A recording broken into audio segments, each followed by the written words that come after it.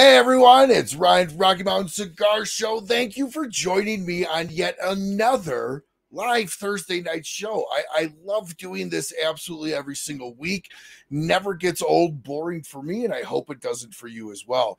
We've got an absolutely fantastic show planned up for tonight with two fantastic guests. One's a familiar face, especially if you're in the McAuliffe Ambassadors group, then you know her very well.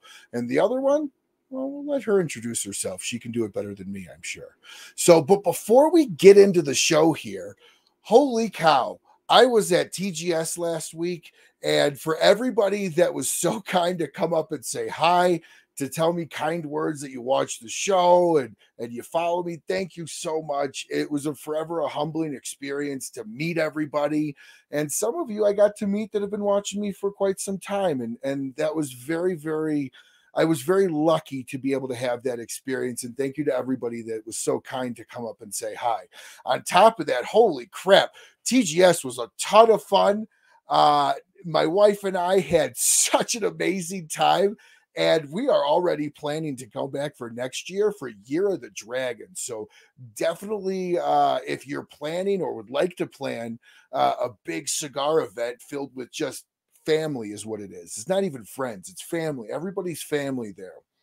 Um, definitely keep an eye out. Join Smokin Social on Facebook and keep an eye out and an ear to the ground for upcoming news and information, uh, most likely about November and October, November.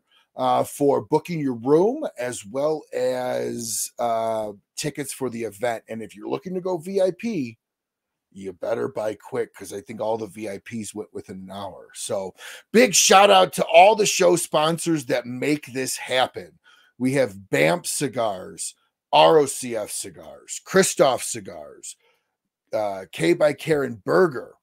We have NewAir Humidors. We've got Sagrado. We've got McAuliffe Cigars, whose McAuliffe is the March takeover, uh, and who actually Lauren works for. Uh, we have Big Sky cigars as well as Cornell and Diehl pipe tobacco. Thank you to everybody that makes this show remotely possible. I couldn't do it without any of these great sponsors, and I couldn't do it without the fantastic uh, group of audience and fans that uh, that supports this show every single week. So uh, enough babbling by me. Nobody really comes to listen to me. They come for the guests. So let's go ahead and uh, bring in the guest here. Let me do a little bit of rearranging. All right. How y'all doing tonight, ladies? Excellent. Fantastic. Oh shoot. Oh shoot. I am so sorry. Real quick uh, because I this is the second week that I'm doing this, and I better say it right. Uh, coming to you from the Smokin Studios, at the Rocky Mountain Cigar Show. That's the new name of the studios, and I dropped the ball. I'm sorry, ladies. I had to throw it in there uh, because that was actually a contest to kind of name all that. How does that sound, by the way? Sounds badass. right? From the Smokin Studios, at the Rocky Mountain Cigar Show. I think that's awesome. But, anyways, enough about whatever that is. Uh, please introduce yourself, our guestess of honor. Lauren. Oh no, no you're, you. are the guest of honor. You, I'm a familiar knows face Lauren. Yeah. Everyone knows who I am. One of the owners of Hiram and Solomon Cigars that my husband established uh, eight, almost eight years ago.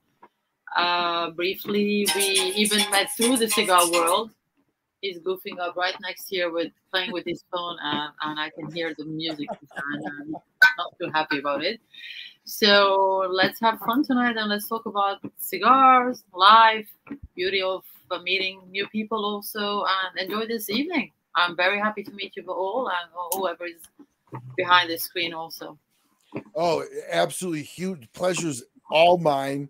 Um, and so let's start by what is everybody smoking tonight?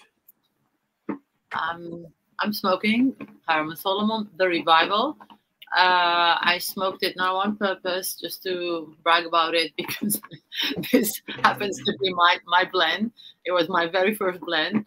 And um, it just came like not by accident, quite by by choice. And uh, it was a very controversial uh, day for for the blenders at the factory, and I insisted on a certain blend, not because I wanted to be stubborn, but I could see that those those tobaccos matching perfectly well, and boom, it worked so well. It's one of our best-selling cigars since we were here about women empowerment and talking about the Women's Month, uh, and that's what Amanda and Laura Lauren was telling me previously just wanted to say that we are also very much involved in the blending not and of course we're going to talk about all the women involved in the factories in the making of the cigars and all that story. Well awesome. Fantastic. and what are you drinking too by the way? I'm drinking a cognac. It's an armenian glass. It's an armenian cognac. It's called ararat. I'm armenian originally and i just wanted to have a drink and maybe people want to know more about my origins, here I am. I'm an Armenian, born in Lebanon, lived in London for quite some years, long years, and then I met my husband through the cigar uh, cigar world on Instagram. Typically, like a millennial, I was 48 when I met him. So there we go. So we are married now, working together. Left my life behind. I was financial consultant, and I'm completely involved now in the new love and passion for cigars. Oh, That's it. a that's absolutely amazing. Real quick, I was watching you swirl that. It would be all over me. I'm just telling you that right now. You did that like so elegantly. I would have like oh like a helicopter. Just I'd have been wearing. No, you want to see what I usually do, and I love that. Look. Oh, that looks amazing. Oh, that's cool. Now you're doing it. That is That's perfect. awesome. I gotta well, get me some ha- cognac. Right? We're gonna have to have you come on just for like a liquor show. Uh, because like I said, I, I, I did that with a wine glass once and I ended up wearing a chunk. Maybe I filled the wine glass up too close to the rim, which is probably what probably, yeah. But uh Lauren, what are you smoking tonight? So uh in honor of women's uh history month and uh in honor of Romy and all the special guests that we have this month and next week as well. I'm smoking our Migdalia special edition, which we did come out specifically for International Women's Day. Again, honoring all the women that are part of the cigar industry. Uh, they're such an integral part. And then also just the amazing women in our lives. So I am smoking the special edition. Awesome. Awesome. That's a great cigar, by the way. I, I am it. smoking the architect, Grand um, or Grand Architect. I'm sorry, Grand Architect, which, which is the six by... God in the world of Mason, Freemason. Yes, uh, this is the 660. I'm looking very forward to it. And tonight, I am drinking the Axe and Oak, the official bourbon of the Rocky Mountain Cigar Show Rye. So we'll see how this goes together. Um, sure to go together just great. Great cigar, great alcohol, great conversation. Uh, so let's kind of just dive right into it here. Uh, tell us a little bit about where you came from, what brought you to the States. Um, and then after that, how did you get into cigars? Uh, I'm going to start from the last part of this question. I was a cigar smoker from long, long time ago. The first time uh, as a kid, actually, the, the first memory of, you know, there's there's a scent, there's a perfume that you always like. And I remember that I used to take my dad's, who was a cigar smoker, the box of cigar back then, the tubos of Romeo and Juliet. Remember the Cuban, uh, they just mm-hmm. came kind of an aluminum kind of thing and the cedar wrap and everything in there. I used to literally steal it, take it with me to school. And it was my comfort smell. I mean, opening the box, as a kid i'm talking like five six seven year old you know there is that smell that is attracting me like like a magnet like a bee. And uh, i grew up quite some time just remembering that. And uh, when i first went to cuba uh, in 1997 i guess and we went to the tours cigar tours etc and you know i took my first puff for real it was all going back 27 years back of my life to the childhood to the smell to that scent and aroma that was subliminal nothing real until i had my first puff and that was a love affair. Since then i i was living in london and before that i was living in beirut. I was born in beirut lebanon from an armenian family. And uh, the only cigars we had was cuban cigar of course. Nobody smoked anything but cuban in that part of the world until recently. And uh, again, uh, I thought I knew a lot about the cigars until I, I rediscovered what the world of cigar was offering in the, in the entire world, except the Cubans were good, but not as good as the rest of the world. I met my husband when I was in London. He thought I was an influencer. I just quoted something funny on a cigar post that our common friend had it, and I, I say hi to him, hi Randy, and I and he saw the comment and he thought it was commented on the specific, which was on Hiram Solomon. I think it was a fellow craft. Long story short, my father was a mason. He was grandmaster at some time, and and we discussed and we started talking about masons, cigars, cognac, Armenian cognac in particular, until I discovered that my husband behind the world, which was behind that screen we were talking, my husband to be was Armenian, also half Armenian, half Greek, born in Lebanon. Long story, one thing led to another, and we're married now, four years almost down the road. wow. so it ended up being like something that was very memorable for, for from you as a child. Uh-huh. Then you got to go to the birthplace for for lack of full story mm-hmm. uh, birthplace of cigars, Cuba. Now, I didn't know. Did you say how old you were? Please don't if you don't want to. Uh, yeah, how old you were? I'm 52 years young now. Oh no, I was talking about when you young. smoked, not currently. I would never. 27. I was 27, my first okay. cigar, and I smoked since then. So you make this long. So 26 actually, because it was 97. So yes, I was 26, and it was the you know the the whole aroma, and I got immediately attached to it. I wouldn't say addicted because I still refuse that cigar makers. sure, addicted. It's just the whole uh, uh, ritual that we are addicted to the ritual of cigar and not to the cigar itself or to the tobacco, just to, to the tobacco. Totally agree. And I just want to say if you if you see me looking down at my phone, it's because I'm just hitting share, share, share, share, share to get this to get this out. Mm-hmm. Um so I don't mean to I'm not trying to be rude of any way, but oh, um so so as you you came in, you're 27. Um, what talk us a little bit more as into what brought you to the states? Um, what did you start? What was life like when you first came here? Uh, and and kind of how that experience was. Uh, well, when when I first met Fuad, uh, it was again totally about cigars. We were talking about, he thought I was a cigar influencer, which was not the case at all. I was still working, I was a financial consultant, uh, smoking my everyday cigar in my courtyard downstairs in London. Wait, you yeah volume completely. So um, he wanted to send me a cigar to post it. I said hey my my my instagram is private and nobody will know about it so i'm not an influencer. I'm a smoker and i would love to smoke.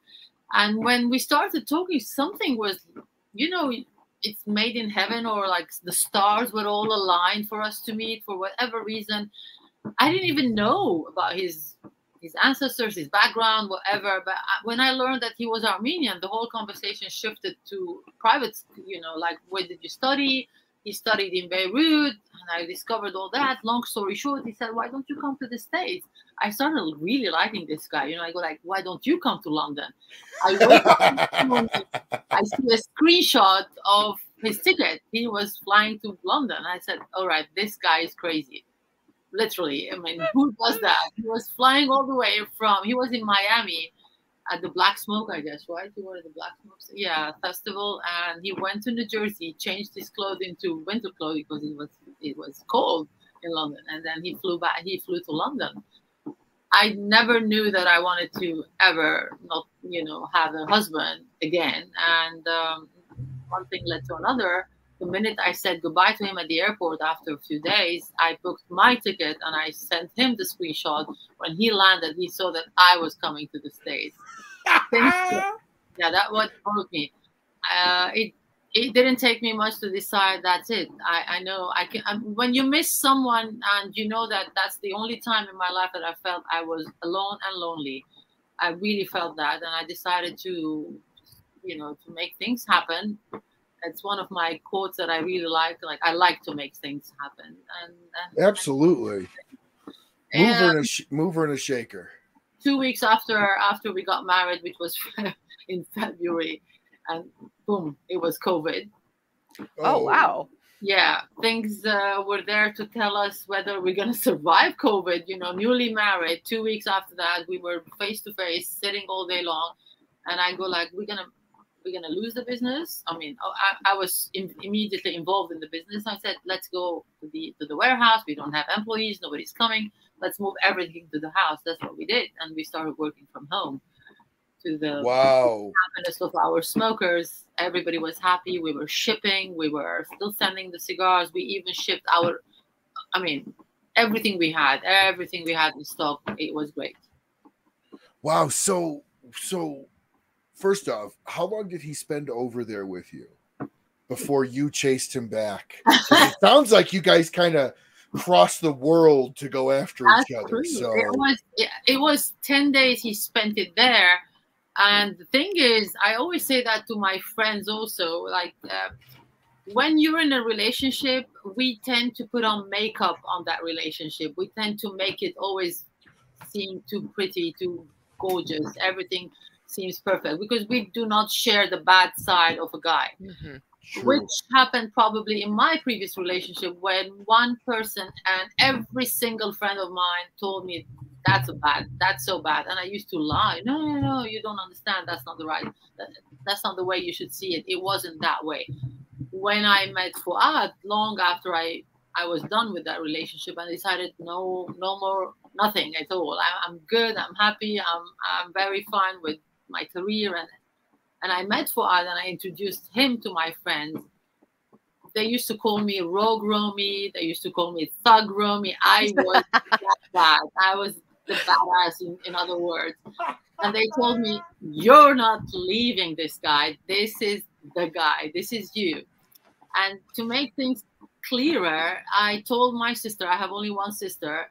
I told my sister, uh, few months after I met Fuad, I said, I'm getting married. I didn't say I think. I didn't say I'm I'm in a relationship. I said I I'm getting married. And she goes, What? Wait, why him? She didn't even know who it was. She said why it was him. And I it didn't take me much I said to her, He is me. He is me. He's like I'm looking maybe it's narcissistic to say that, but it was like me in the mirror masculine, feminine, the female and the male. You know, that was exactly why I loved Fuad that much. You know, everything about us was like, you know, you, it's it's clicking. It's just fitting so well, perfectly well, and I'm I'm, I'm I can't wait. It was perfect decision for both sides. Anyway, he said the same thing over and over and again about this whole the whole relationship so he was right from the beginning the yin to your yang, and you were unwilling to let that go, and you chased him back. He I chased did. you first, you then followed up, and I now we are where we are, and you guys yeah. have been together, married for four years. You have a oh cigar company together. Looks like you have a beautiful home as well. Uh, from just what I'm looking at right here. We made and, this room only for cigar. sure that we had the cigar room from the beginning. It's our everyday ritual. Doesn't matter. We're drinking coffee here. We have friends here. It just it's our little cocoon, you know. Oh, that's amazing. I need a room like that. let me know. I'll let you know. But you know, I got even these because it's quite cold, and this is like what they use for the yachts. Oh. So we got this guy. He came, took the measurement. It's completely insulated because we can have cold winters in New Jersey. Nothing. We just sit here. Look what I'm wearing. It doesn't matter. You you don't need anything. Just put the fire. Look, where is it? Here. Oh, that is so nice. And husband, hello. Speaking of. hello. The Bible. So, so let me ask you, what's the weather like in Armenia? I, have never I haven't been to Armenia. I have not been. I was born in Lebanon. Oh, that's right. I, Lebanon, Lebanon. Lebanon. Le- Lebanon, the weather is Mediterranean. It's quite nice and mild, and uh, we have four. We used to have four seasons. Perfect, nice weather. beach, snow, everything. It's Lebanon being the only country probably in the Middle East that do not have any desert. So it's it's like I would say it's like San Diego. You know, it's just okay. mild climate. Always, uh, you, you, don't have extreme heat except probably in August. It's a little humid, but that's about it. If people know weather of Cyprus or Israel, it's just that part of the Mediterranean. Okay, so coming to Jersey, then the winters weren't a shock. No, I came to Jersey from London, in fact, and not from Lebanon, because I was in London for all those years. I moved to London uh, for work, for uh, pursuing my career over there, and uh, the weather in London was again like my personality. I I always they always told me, "What do you like about London?" I go like the weather. I love the weather in London. Just shut up. I love that weather. Waking up in the gloomy sky is the most poetic. I'm not too too romantic, but London was the best weather for me. I like that, you know, damp and nice weather. So yes, I have not been to Armenia yet. So, uh, and forgive me for that. I, I, I yeah, you're Armenian in Lebanon, I, uh, I I missed that, so forgive me for that. But no. So, what is the differences coming weather-wise to New Jersey? Was was that a shock for you? Was was there anything, or were you? Uh, the weather-wise, no, not really. New Jersey is beautiful. In fact, in, in terms of mm-hmm. weather, it's really beautiful. We can always smoke our cigars. That's how we compare everything. we, we need to have the good weather where it's cold. I haven't seen much snow yet. It didn't happen since I moved here. You know, things are quite mild. In London, the weather is quite cold, so I'm used to the cold. Mm-hmm. Yeah. Also, it's genetic having Armenian genes, so I'm I, am i I'm a survivor probably of multiple generations in the cold. So one of the oldest uh, civilizations Armenians are still existing from the Torah time, from the biblical time. So yeah, we survived quite cold weathers, and I guess I have it in my genes that I like. I really like New Jersey. Uh, culturally, it was a little different. We walk in London. We do way more things than we can do here. Here, everything has to be planned because of distances.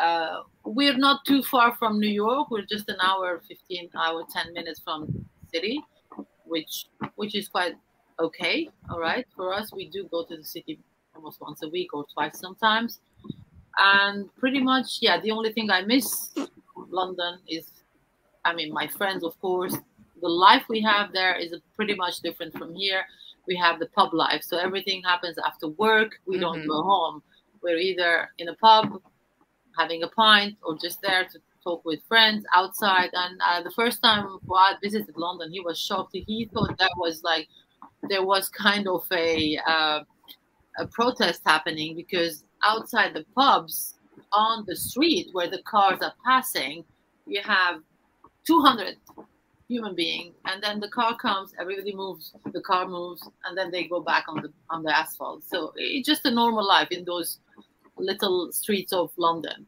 that what we miss here we, we have only one pub in the area where we live here and i don't see anyone there ever you know they don't have the pub culture and after that we usually go home I used to have a nice courtyard, so I used to smoke my cigar there. And on any given day, we're out doing museums, doing uh, the parks. We walk to walk. Here, no, we just drive and drive. drive. Well, well, am I right in saying probably one of the first things that you notice, being that you are uh, as big as the cigar smokers you are, is the cost of cigars over here to oh. England is like oh my gosh, like Big a difference. quarter of the cost. the cost was was pretty much uh, high, and also lack of uh, choice, may I say? Because you know, I I probably smoked five brands, out of which three were my favorite. I used to smoke for every day: Ahoyo, uh, Epicure Dos, uh, and uh, I used to love really. I say I used to because I'm not enjoying it anymore because of the draw problem, the Trinidad, Lancero. It's really disappointing now, but that was my favorite and definitely uh, Partagas uh, oh, yeah. 32, I, I, D, D, and D4. And uh, I used to love those cigars. Now I smoke them and I go like, you know you think you know something until you discover your your new world they call it. And pretty much in london everybody's now enjoying also the non-cuban which is uh, really like reading the same author all your life until you discover wait a minute there are other people who can write books and and take you to, to another journey of uh, in the world of, of reading same as the cigar so what was the first new world cigar that you ever tried I don't Solomon. Oh, um, okay. So let me say, I smoked a Davidoff, and that you know that's the only thing you would find in London. Otherwise, it was going to be in the gas station. So whatever was non-Cuban, apart from the Davidoff, it was a non-Cuban in a gas station. So people really related that to cheap, uh, cheap product in terms of, I mean, how can I say? Like they didn't know the value of having a non-Cuban cigar. Recently, right. the ratio has gone way higher than it was. When I was there, like I said, it was zero, literally zero. It was Davidoff or Cuban, and then it started changing. I'm talking about the famous places like uh, in Mayfair, in, in in the areas where you would find a nice cigar lounge or a store that sells good cigars. And my first non-Cuban again was Davidoff, but then really from the new world, you might say it was Hiram Solomon that Fuad brought with him when he visited me after we started uh, talking on on Instagram. So I wanted to ask you: Have you ever? There's a really famous Davidoff lounge, uh, father son. Oh, I can't remember the name. Yes, have you been Edward. there? Oh yeah, it, it was walking distance from my house 10, 12 minutes. Oh, perfect. Wow, that's like a walking distance there, right? It, when you're in central London, you just have to cross one of the parks and you're just there. we, we walk, we we walk there, like six, seven. I mean, four miles was an average of walking every day. Here we drive. Wow. If I walked four miles every day, I would be wearing a lot smaller clothes. Um, so yeah, I, I should be walking about four miles every day. Um, so you're you're here in the US, you've got a cigar company, it's COVID. What was COVID like for you guys? Is it was obviously you had mentioned that you were afraid you weren't going to be able to keep the company. clearly pulled that off. But what was that initial conversation kind of around bringing everything into the house, like you said. Yeah. Um, what was what was some of the main concerns? It was it was a dire strait. Let me say that, like a decision that was it's like a Russian roulette decision. You just shoot, either works or you just kill yourself. Literally, that's how it works. We were discussing. Fuad was, and he's is a very optimistic person. He was not in in Lebanon during the war, so he lived pretty much all his life in the United States. He was here. He's here now for 35 years. So, 31 years when COVID happened, he was in the United States. He was more optimistic. He's never been through this much of disappointment. Or I, I was. I was very pessimistic from the minute it started because I I could see it turning global, and I go like, no, no, no. This is not a matter of one day, two weeks, one month, two months, and it was just growing, right? And I said, we need to do something, I guess. And people were calling. There was not yet the full lockdown uh, in, in, in, in all the industry. I mean, in all the businesses. There were some businesses still working, but people were starting to call, like, do you know any lounge open? You know, and a lot of people were smoking. This was way before we all went on to Zoom meetings or Zoom groups and all that. The, the thing was we had to always go and check on the cigars at the warehouse because you need to check the humidity you need to check that everything is okay. The worst maybe decision i mean the most critical decision we had to take is uh, when we had to send payment to the factory and that was a big payment to be made Mm-hmm. And they had the cigars ready there, but we had to send the money and we didn't know when the product came here. What are we going to do with all that product, right? Is it going to go on like this? We're going to keep it at the warehouse, at the at the at the port facility. We didn't know. We just said, let's do it. Let's do it. We, you know, it's one thing if everybody thinks like let's close the business you know many businesses they didn't believe in it Yeah. and they closed unfortunately Yeah.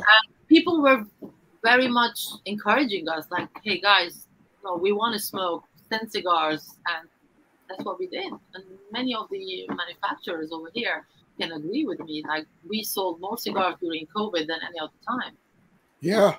yeah, there was a definitely big, boom during that time. The people were staying at home. Uh, the wives couldn't complain anymore because you know she wants her husband uh, to have also some some quality time, quiet time. I mean, all day being at home is not an easy easy task. You know, one on one with children in the house, studying at home. Everything was just you, you have to start readapting yourself to the new life, to the new uh, condition. You know, if we didn't we're 8 billion almost in this world. We went through a lot of things, through a lot of pandemics, so sort of, if you want to believe in the pandemic. So yeah, we did survive all that. So why not this pandemic? And you know, I, I lived a very nasty war as a as a chi- child, where in Beirut, Fuad lived it too. It was a militia war. It was a street war. It was a civil war, and a civil war is usually merciless. We care about civilians. So we went like kittens from one house to another house, moving from one one town to another town. My entire family fled to the United States. They migrated to the United States, legal uh, immigration back then, and they made their life. My dad decided to stay in Lebanon because of his business, and we had to suffer somehow from the war. And that was like another another obstacle in your life. It's you either decide to break it or you just fall before it breaks you. Yeah, I mean, from what you're telling me, because I at first, like I, I, you know, you said you uh, moved around a lot, and I always thought it was difficult to move on the other side of the country. I did that before, but I couldn't imagine moving to another country. Uh, to another country, but it sounds like your life experiences kind of gave you like a high chaos tolerance. It did. Actually, I woke up one day in Japan after literally 48 hours knocked out because I flew that week on three different continents. And and that's one of the days I said, I think it's way too much. You know, enough is enough. It's just like you don't realize uh, how short is life. And you know, sometimes you make a wish and boom, it happens. You know, it just works. And I, I wanted to stop doing it. I was working as a financial consultant from when I was 23. I had two beautiful boys. My boys are uh, also quite smokers now. They enjoy the cigars and they they're we're discussing about you know doing this as a family business eventually. Maybe one of the neo neo uh, neo how do you call it? Like the new families in the industry because there are beautiful families ancestors coming from 100 or 150 years in the industry people. And maybe we'll be the first family that is doing this as a family. Like amanda's dad started amanda Michalek, who put us together today by the way and hi amanda if you're listening No, that's that's that's awesome. I, I I love the family aspect. Um because cigars is a lot of the family. You become family with friends that you smoke cigars with. So, you know, like going to the Great Smoke last week, I even I said this in the post when I posted about it. A lot of these people were friends on Facebook that became family within days. yeah You know, and, people and- are married Yeah, Liter- literally creating families here. Um, but- absolutely. Well, it's so interesting because like cigars themselves are so heaped in tradition, and so it's you know family's just an extension of that. So you're creating your own tradition, your own values, and then your own legacy. So that's really cool. That's right So you're getting some shout outs here from Bruce about that. Bruce, yes No, that, that's that's really really good uh, stack of dimes you got going out there. You're holding it like per. You like trying uh, to like me. I I it doesn't matter how I hold it. It always ends up on my lap. Um, so, but but, I do want to ask a question because uh, your husband uh, said that he would like to know the answer to this. Now it's a little bit of a funny question, but so what came first, your love of Hiram and Solomon or your love of your husband? Is that the Bill I know, Bill Schaefer? Yeah. Yes, No. No, it was for Fuad, definitely, definitely. definitely. I knew it the moment. I I mean, the moment we said goodbye at the airport, I can go on for hours about how things were always uh, aligned for us to to go further in the relationship. Another, uh, it's not an um, let's say another event that happened the day I, I you know he was going to the airport. I said, all right, let's go to the airport. I took him to the airport. We got there. Believe it or not, you know the security before the gate. You once you pass the security, you're not allowed unless you have a boarding pass. For whatever reason, we still don't know that secret. I got with him all the way to the desk of the security of the TSA, the equivalent of TSA over here. And they're checking the the lady who was there. She said you can go with him. I still don't know how I was at the gate with him that day. No boarding pass. I didn't cheat. I didn't say I have a boarding pass. I just went through that all the way to the gate. That happened only 30 years ago, I guess. Nothing after that, right? I said yeah, 9/11 changed that. It's just weird, it's an international flight, not an internal flight. He was flying back to New Jersey from Heathrow Airport. It, it, I've traveled Heathrow Airport. It's one of the highest security, and I don't even know how I ended up at the gate. We hugged each other. We said goodbye, and I knew that moment, like, wait, these are like weird signs. You know, I started believing in those things like a teenager. We, you know, like. Uh, a gen a millennial let me say. A 48 year old millennial that back then. And i was like this, if this is not meant to happen and i can't see it so why else am i even seeing this guy? Why am i talking with this guy? I'm very pragmatic in life very realistic and i could see things like perfectly aligned you know? I, I like squares in my life so yeah that was a perfect square. But in the relationship it was a it was a circle. No beginning no end. I felt like i've always known for Fuad that's fantastic. And and you guys came together, crossed worlds uh, to come together. And you know, my parents didn't cross worlds, but it's sort of similar. They met in high school. My mom moved down to Florida. My grandfather had a restaurant that opened for I think only like eight months. It got shut down for whatever reason. I mean, my mom was 17 and my mom uh, ended up coming back to Illinois within a month or so, she flew back down to Florida, finished out her high school career with my dad, and then she dragged my dad from Florida back up to Illinois. So it was at least cross country, but it was like they kind of both chased each other around in that extent that nobody was willing to give the other one up.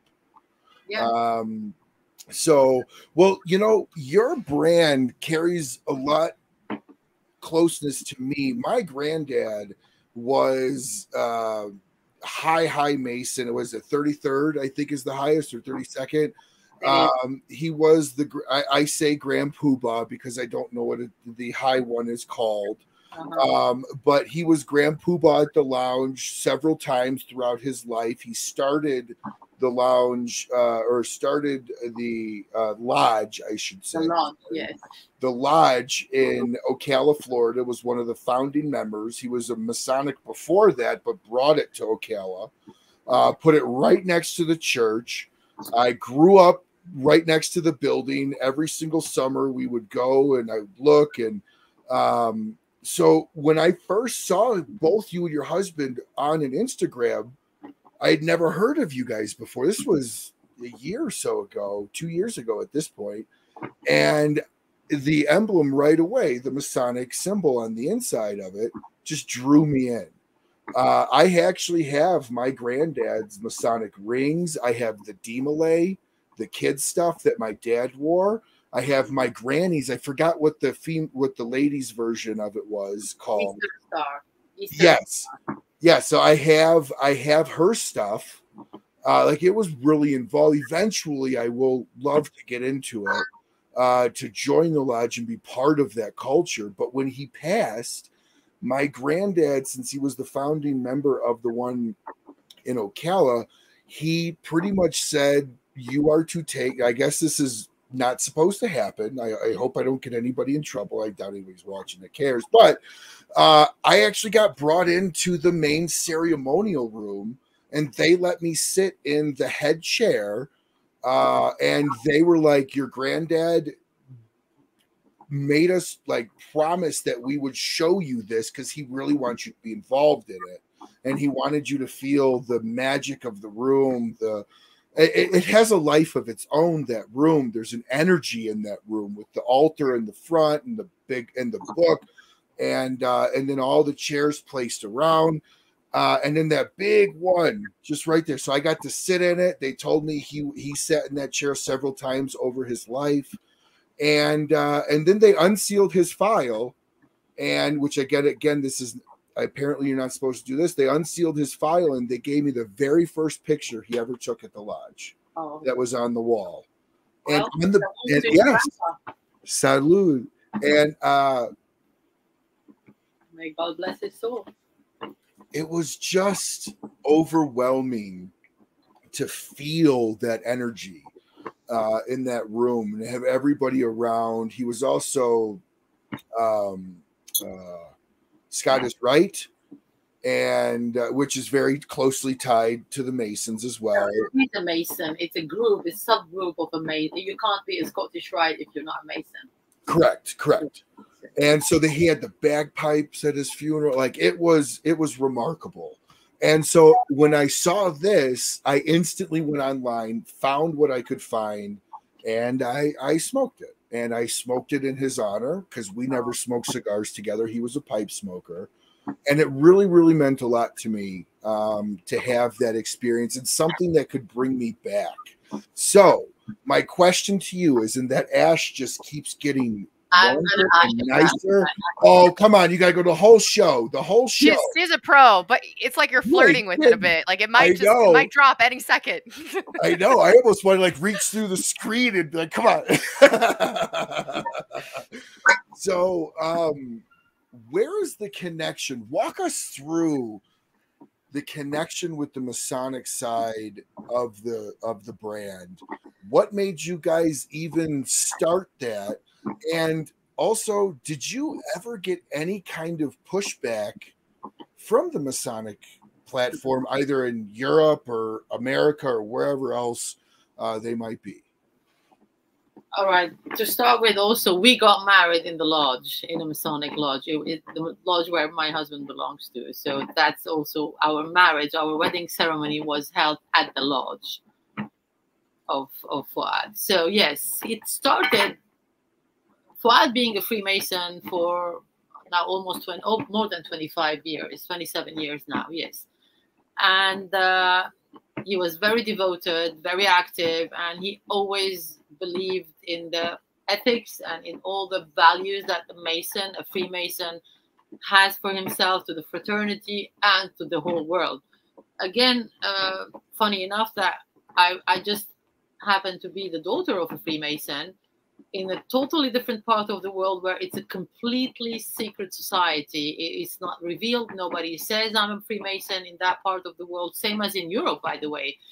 Masons are quite a uh, a silent society. They wouldn't come out and tell you, "Hey, I'm a Freemason." They wouldn't, even if you ask them. And even until now, you don't ask people in Europe whether or not he's a brother, a traveling man, etc in the United States, it is a totally different thing. People are very open, very proud. Everybody's proud to be a Freemason, but then again, again, there was reason, there were reasons why in that part of the world it was completely a secret society.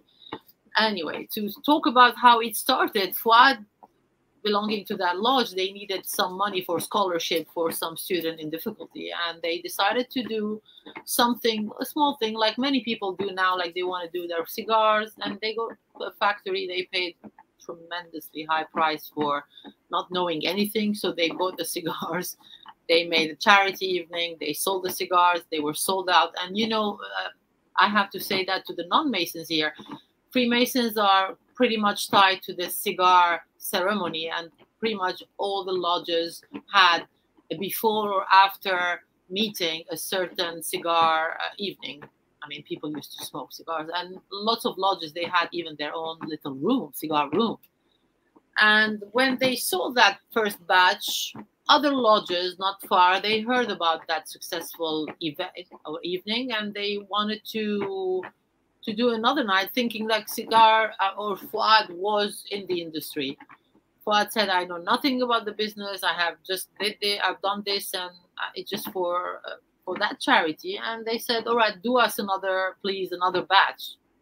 From the first batch of 5,000 cigar, no, wait, not 5,000, 1,000 cigar. The first one was a 1,000, the next one was 5,000 from charity, purely charity. And Fuad was in the gas station business and the gas distribution business. So that was another business he had. And he loved it because, again, the charity, uh, finding the names, creating more cha- more charitable events for for the fundraising was becoming quite addictive to him one thing led to another. We are l- almost a little less than a million cigar a year now after eight years in the industry. So yes, we are uh, working hard and we're growing much faster than we were expecting.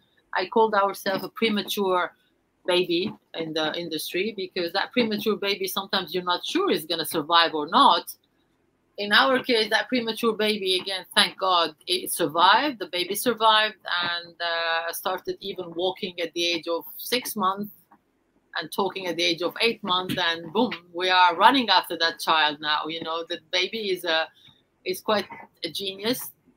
We're never resting, by the way. We always think like we haven't done anything yet we thank all the people who believed in us, all the lounges, all the retailers that really believed in us, especially in the beginning, where where Fuad had to go and you know tell them, hey, we just started this. In the beginning, many people thought it was just a an anecdote, a gimmick, or just like whatever people do when they say, oh, I just rolled my cigars, I made my cigars because I didn't find any good cigars in the world.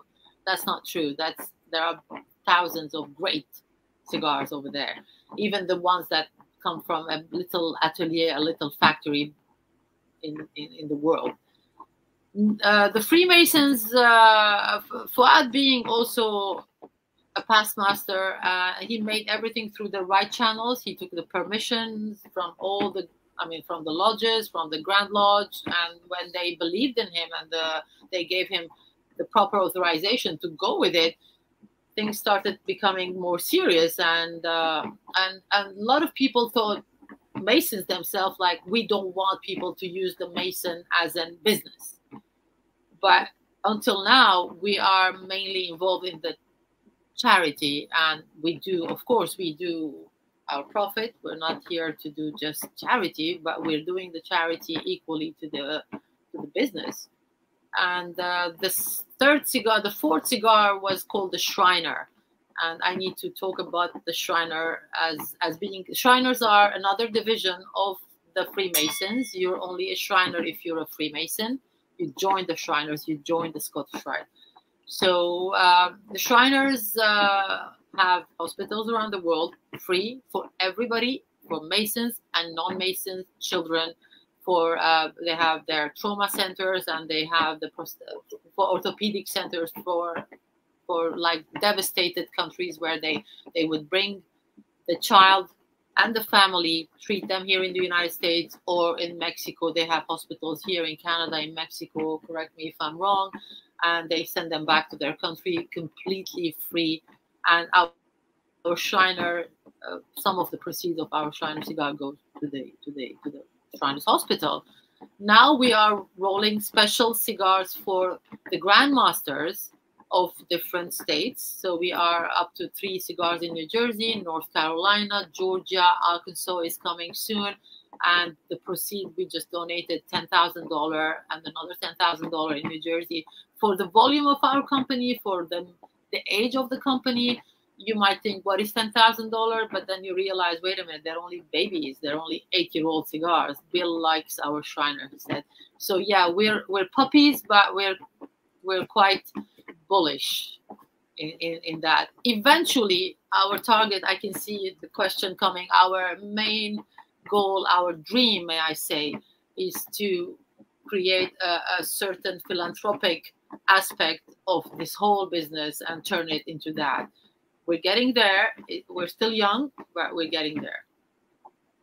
So the Shriners, by the way, uh, love the Shriners. What a fantastic, selfless, in, in every sense of the word, organization. Um, it's a complete voluntary charity for nobody's forced to be in the Shriners. They do it because they just love the charitable giving, but it's for kids. Uh, at, uh, at, least from what I know of Shriners, it's it, they do so much for children. Circuses, they have the biggest circus event that they do. I know. They dress up like clowns. I know. That, that's the event itself, but they do also they visit the mm-hmm. hospitals. These are people who have their life, their businesses, regardless. For them, being a Shriner is being a, a voluntary clown to make people happy, and it takes a lot of their time. I wish people really realize the value of of, of them giving. They travel, they travel the world to just do those you know every hospital is not just in one state and all the shriners are in that state no no there are shriners there are no shrine hospital in uh, i don't know in in uh, kentucky or in in uh, arkansas but they travel the shriners from that state will travel to another state just to be able to to take care of those children and make yeah. and, and they, they also help kids get to the hospital oh, yeah. be able to get that surgery. And you know my my sister didn't go through shriners and it's not important the charity that she did because we're talking about shriners uh, and that's what we'll stay on. But it was eh, like having my sister get the help that she needed being able to pay for lodging like it was just such a, a burden relief off of their shoulders. So, like, thank you very much from the bottom of my heart, all the children that you guys support. It, it truly is a selfless organization um, that has a little bit of mystique, but has a, is a selfless organization nonetheless. And in fact, my granddad explained the Shriners as the party arm of the lodge. He said that the lot the Masonics were the ritual side and stuff like that. He goes, then you get the Shriners. You just go out and have a good time.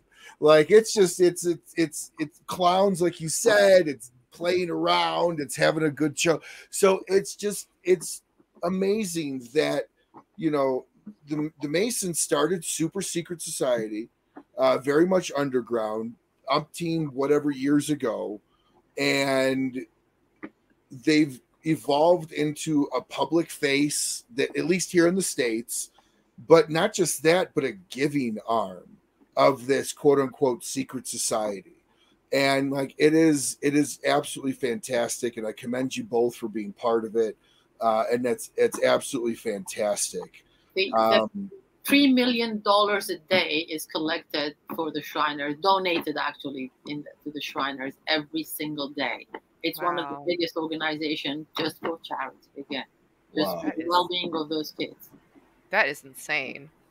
That is awesome. I I love that. That and all those families that you all help, and you do it in a way where it's it's the organization, but it's not like public public. Like yeah, you guys you you guys do raise money but there's other organizations that put a bigger spotlight on that and you guys kind of do it in a way that puts more emphasis on the help than the organization. Does that make sense? Like it, you it realize you realize that really every little helps.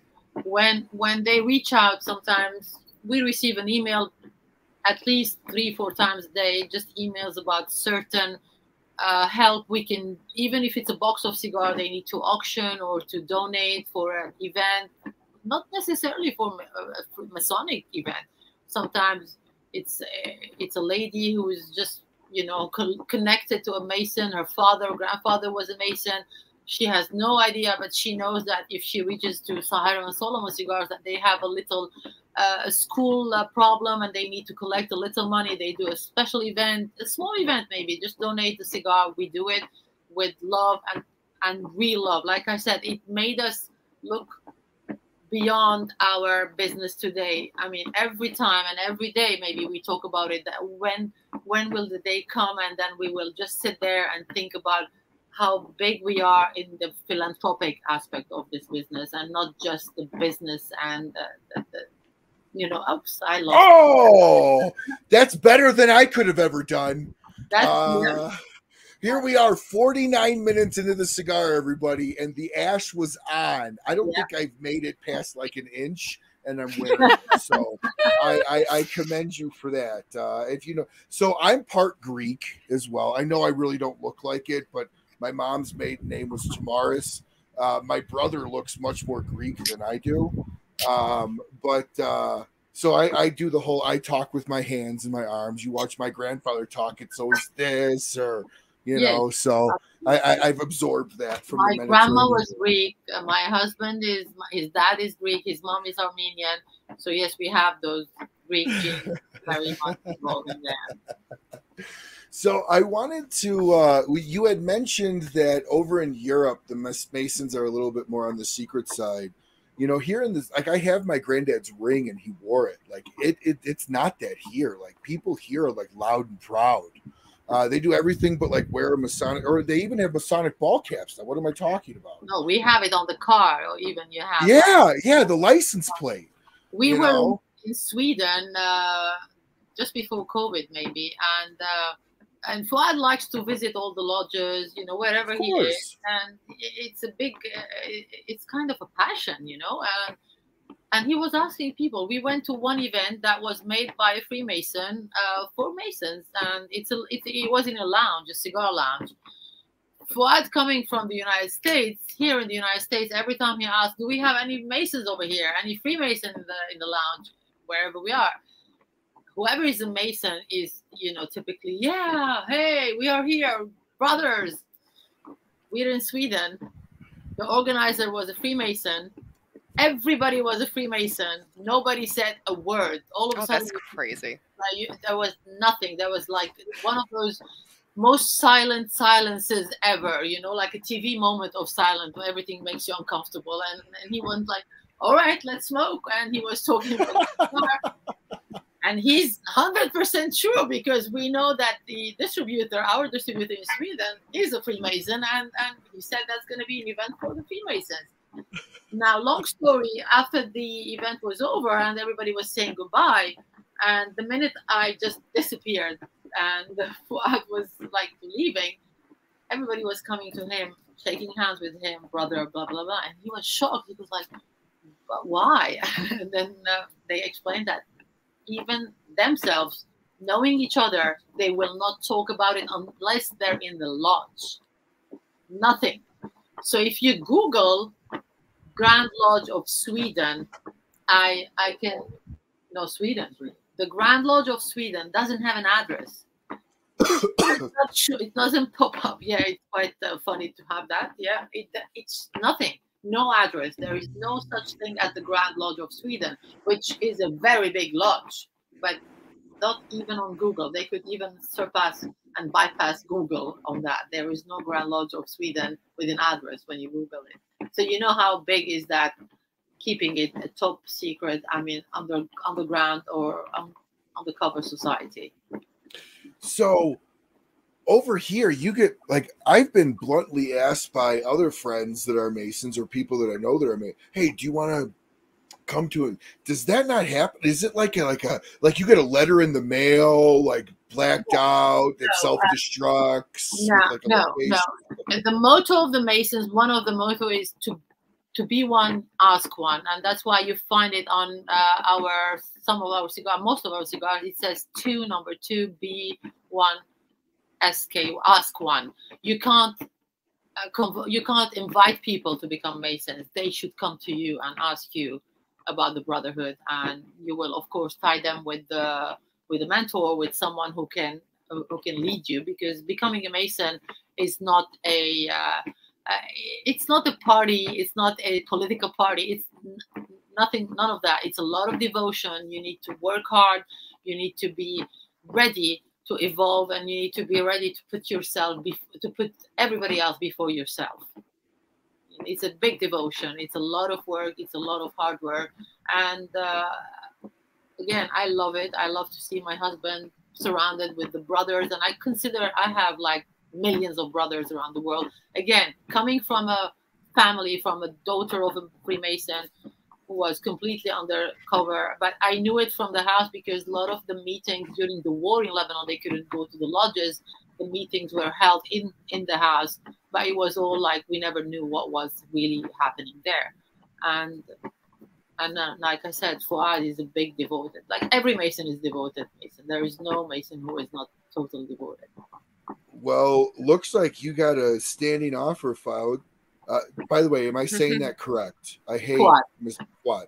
Fuad. Uh, Fuad. if you're ever in North Carolina, Fuad, uh, Yeah, Larry wants you to come and visit yes, uh, at the at the lodge out there. So, hmm um, so obviously here in I'm the smoking the states, cigar of North Carolina Grandmaster. This is the cigar was made for the charity of the Grandmaster of uh, North Carolina last year. Oh, Oh, wow. wow. Okay. cool. So uh so since you brought in the your product a little bit what you made last year, uh without getting too much into detail or at least not divulging anything you don't feel comfortable with. Yeah. Tell us a little bit about where your cigars are made, um how you guys develop your blends and um if you have anything new coming out on the market this year and and when can people find it?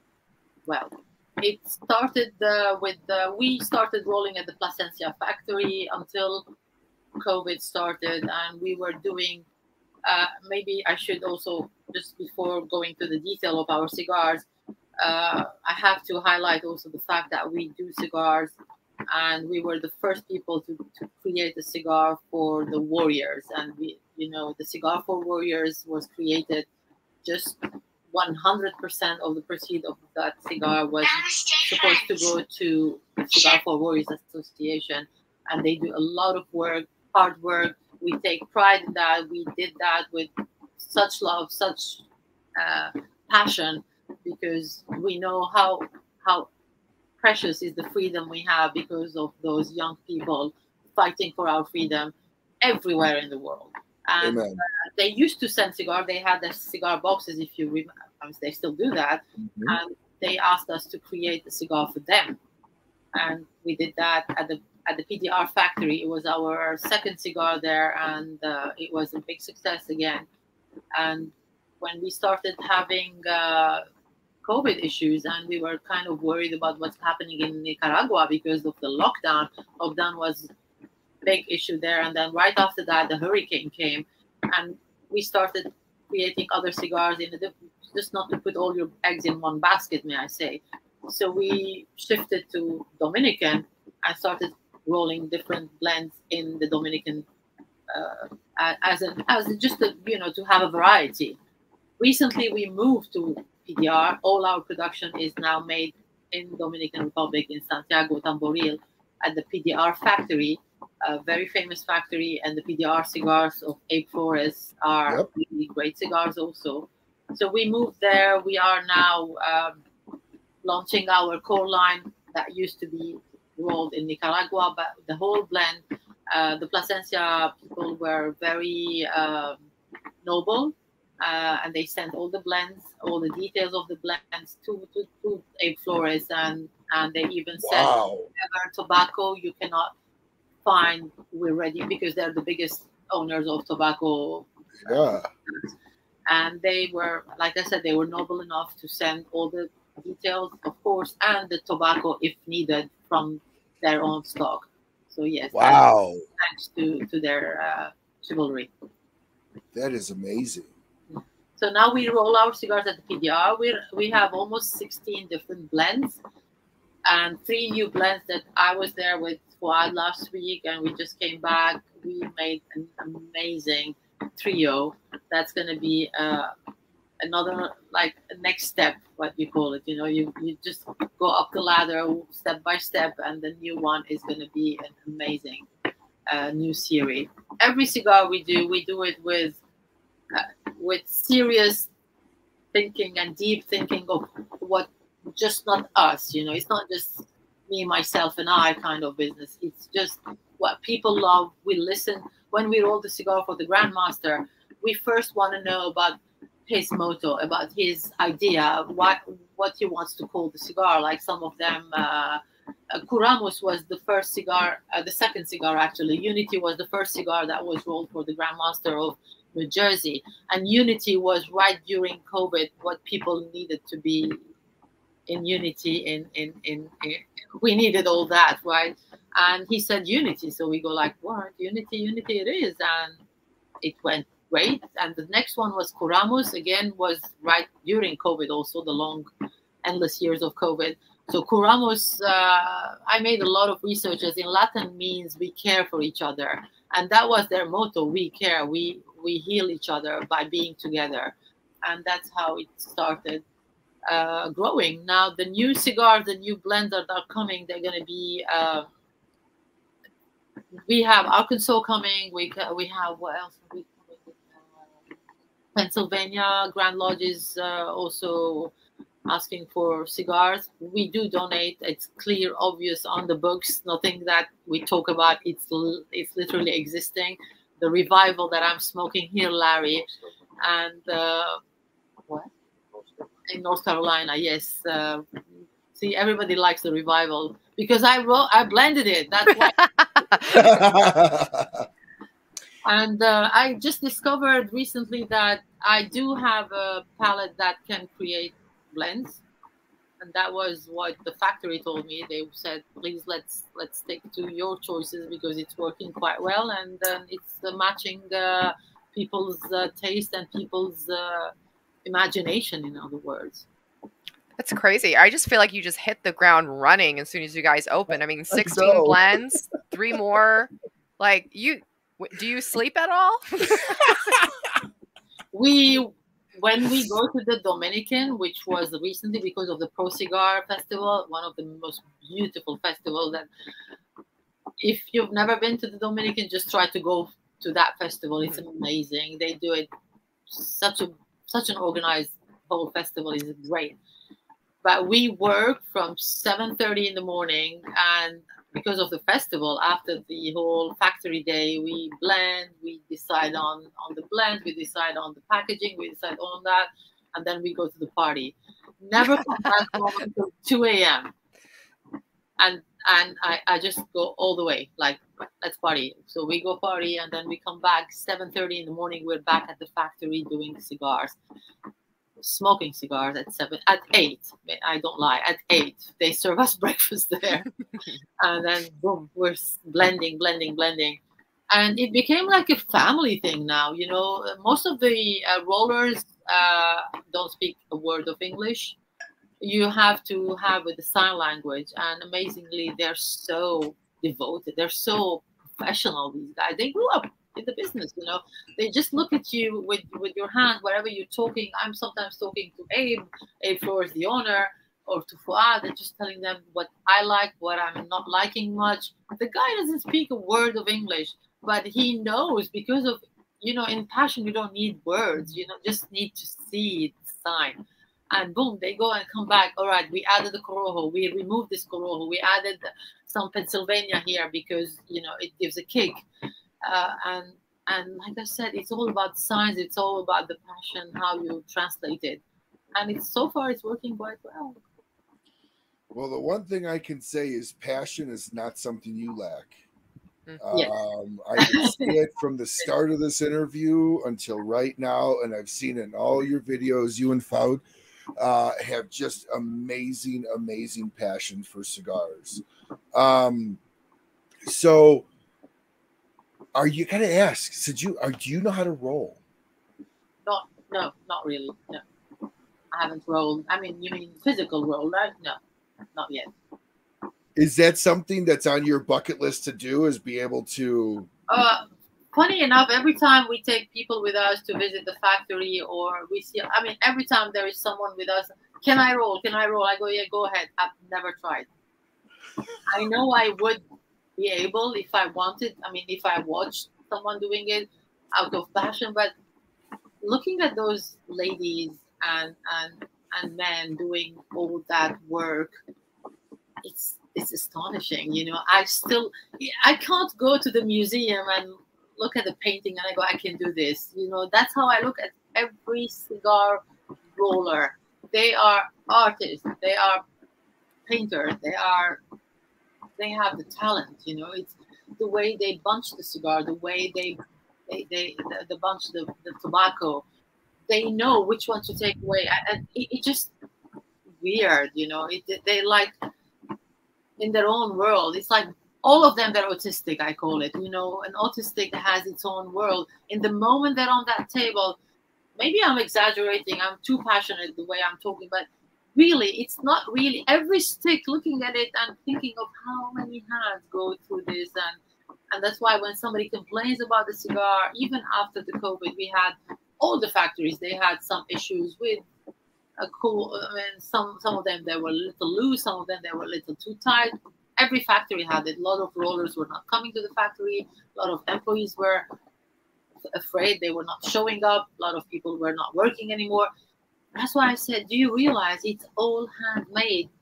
Do you mm-hmm. complain to your mom today's dish she made is not perfectly well, you just eat it because she made it with passion. That's how I look at those people when they're creating, when they're rolling each and every single cigar, and and there is nothing but passion going through that. You know, she knows or he knows. Most most of them, they're ladies also working. You look at them like, wow, who am I to do her job? You know, she's been doing this for ages now. Since she all all she knows is doing this cigar, all he knows is doing this, and and to bring food to their family every night relies on their hard work and again passion. It's, no, it's the job, you know. Every day they work almost ten hours a day. Mm-hmm. Yeah, and doing yeah. that consistently. Like yeah. you just when you see a bunch of cigars like at the same time, like walking into a humidor, like in in a store, it's just insane. Like they're all handmade, like in the consistency, like to get it right every mm. time yeah, I, I don't think I could replicate that skill either. No, and and, and you just don't want to do it. It's, it's enjoy it. You know, to each its own thing in life. You know, you don't want to go to the to Bordeaux and just walk in the vineyard and say, "Oh, I'm going to create my own wine now." Give me some grapes here. No, it doesn't work like that. It, well, it's like eating your own food that you made. Like it just tastes so much better when someone else does it. As for the cooking, in that terms, I'm not the modest person. I'm the best cook. Oh my god! I envy you. I could throw stuff together if need be, but I don't. I don't know if it's immaculate. I would love to cook for everybody. I'm a big mama cooking kind of person. I, I'm, I'm, a, I'm I love cooking. So in, when I'm when I'm cooking, I don't want anybody to be around me. Even thing, he goes. He likes to help me, and I just look at him. I'm so aggressive in the kitchen. it's all, I'm a German Shepherd in the kitchen. It's my territory. I, I, I you know, just don't, no, no. Everything, You're ruining it. You're ruining it. yeah, it's not that. You know, it's just you know, that's exactly how I see when people are in the industry, in the factory, they're rolling the cigar. You don't want to touch that beauty. it's her work. It's her beautiful work. No, absolutely. I I'm an okay cook. My wife is a great cook. I more tend to the smoked meats side of cooking because I could sit outside with a bourbon and you know it's like at least four to 10 hours minimum, and that's a several cigars. So I always am like, yeah, I got to sit outside and watch the meat cook and smoke and have a few drinks. So that that's that's where I actually make my own bacon um, that I'm yeah, really, really proud of. I, I do, I do. I heard amazing things about your bacon. Yes, uh, yes, it's it's. I have said nothing amazing about it. It's everybody else that has been so kind to support uh, that and get it from me. Uh, so if anyone's interested, please reach out. Uh, I've got a list I could throw you on, but I do. I, I make my own maple uh, brown sugar thyme bacon.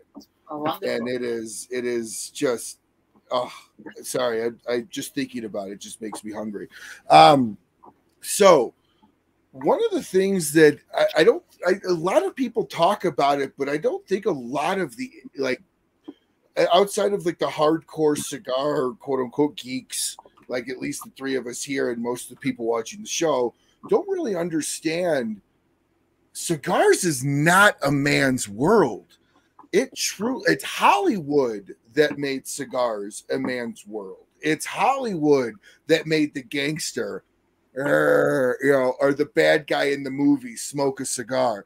But in reality, three quarters of a factory is women outside of the fields, and that may be some work in the fields as well. No, a lot of work in the field. A lot. Really? So that I was told that was mainly the guys that did the field. The women did the sorting, the the destemming, the rolling, the Everything. you know more of the um, fine work involved in a cigar. So there are there's a lot of women in the fields too. Absolutely. Yep. Okay, and I don't think a lot of people know that. it's a quite a balanced uh, ratio uh, between men and women, but in the factory, yes, the majority you can see there. It, I mean, it, it creates a perfect environment for them to, to work and to take care of their families, you know. And uh, usually it's a matriarchal kind of uh, family. The grandma is taking care of the children, the daughters are in the factories rolling.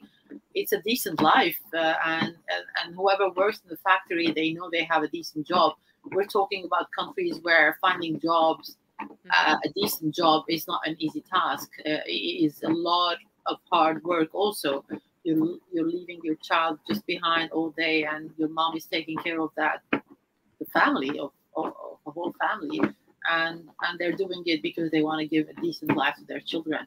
It's the dream of that lady who is willing, and they love to have children, and they love families. They are very family oriented and you see it like she doesn't think of how much food I can I can provide if I work less or more. She thinks about making bigger family and and take care of that family even if she has to work extra hours or work more just because she loves what she created for herself. Absolutely. So when you first got into this, did you know, or were you kind of taken aback by how much of the actual production, the rolling, the field? Thank you for opening my, my eyes on. I'm sorry, I put a hat on to stop washing my my shiny little dome out, but the white hat is causing a lot more glare than I want. So I think that'll there you go. Now my face is not as washed out. Sorry, my camera was just driving me nuts.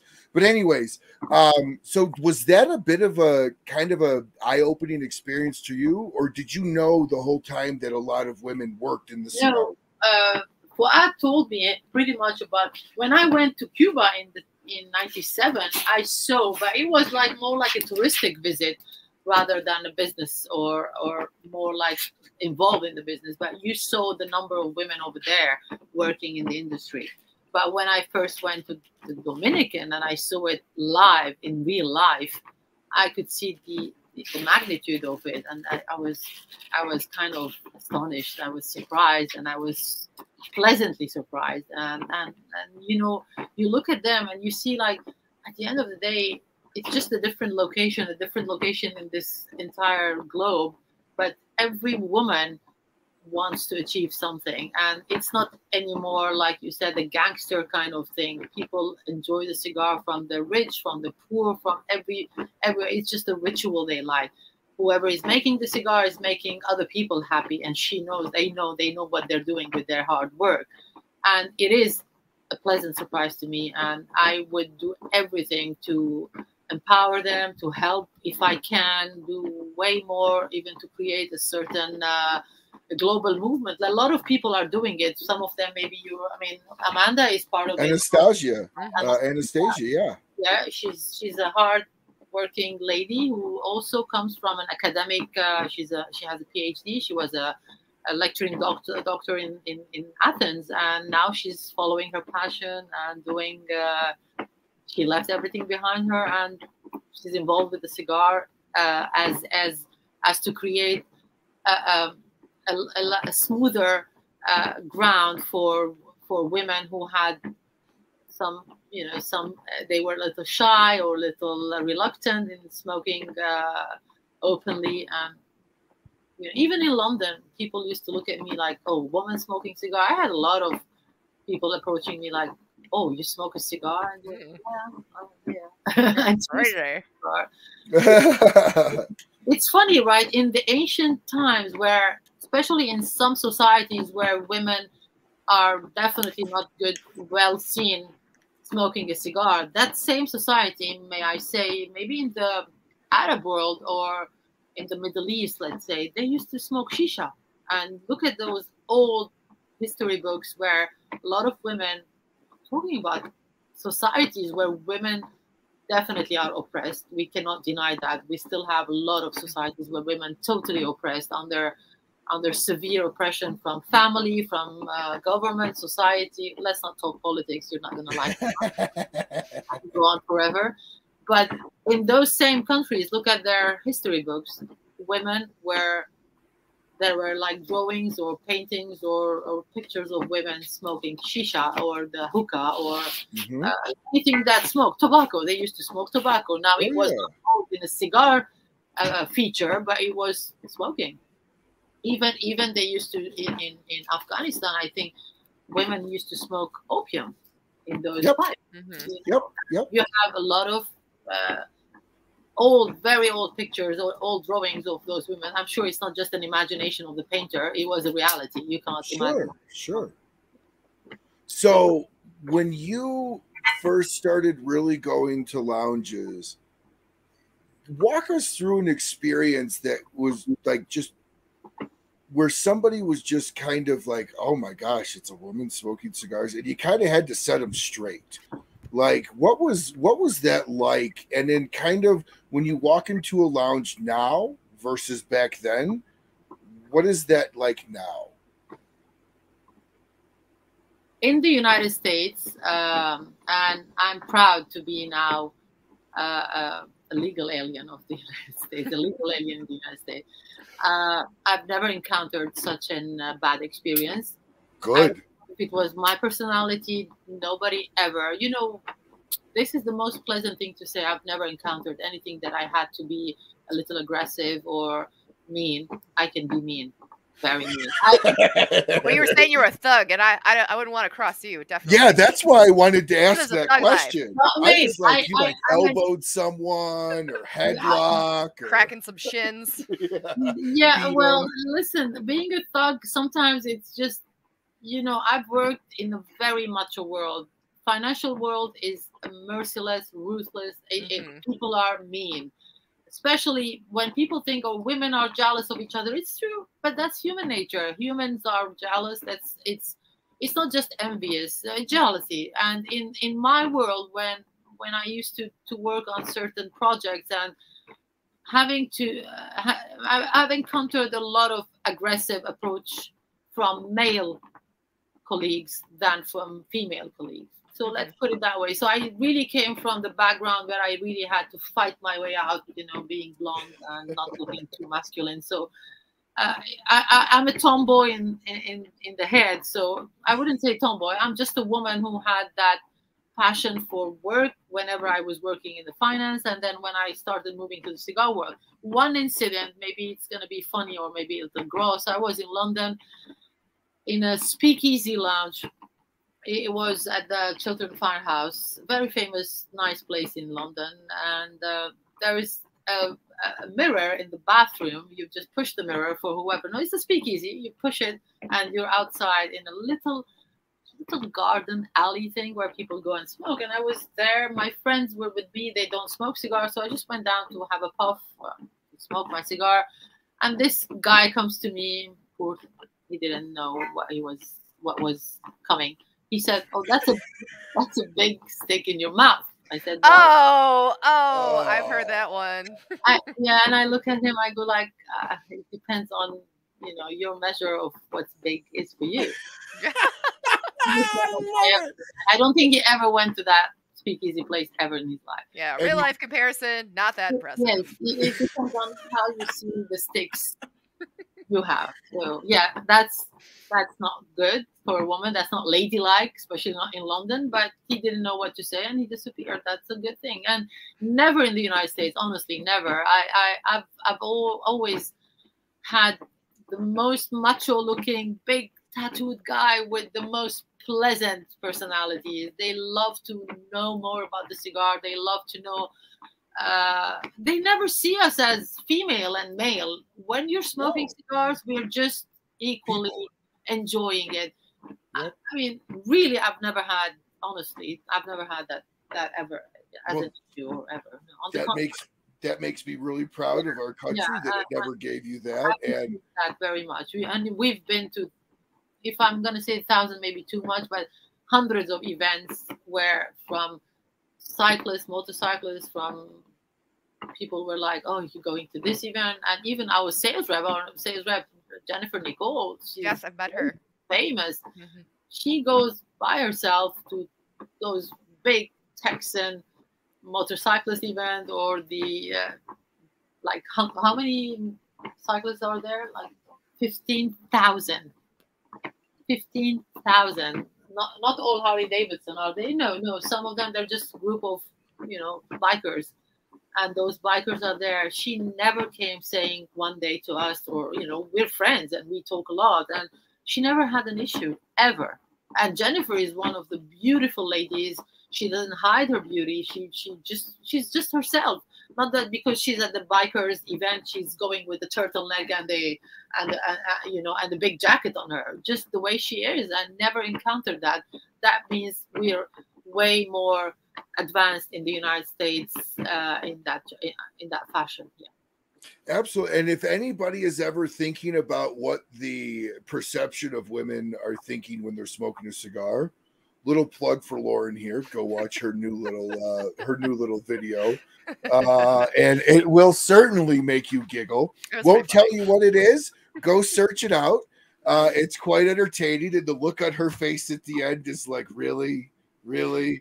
Uh, so definitely go check out uh, the McAuliffe shorts that Lauren does. They're always they're always funny and entertaining. I gotta ask, what is that big? Ri- now that's your band, correct? From the cigar that you have. What is this? On the other hand, yeah, Oh wow.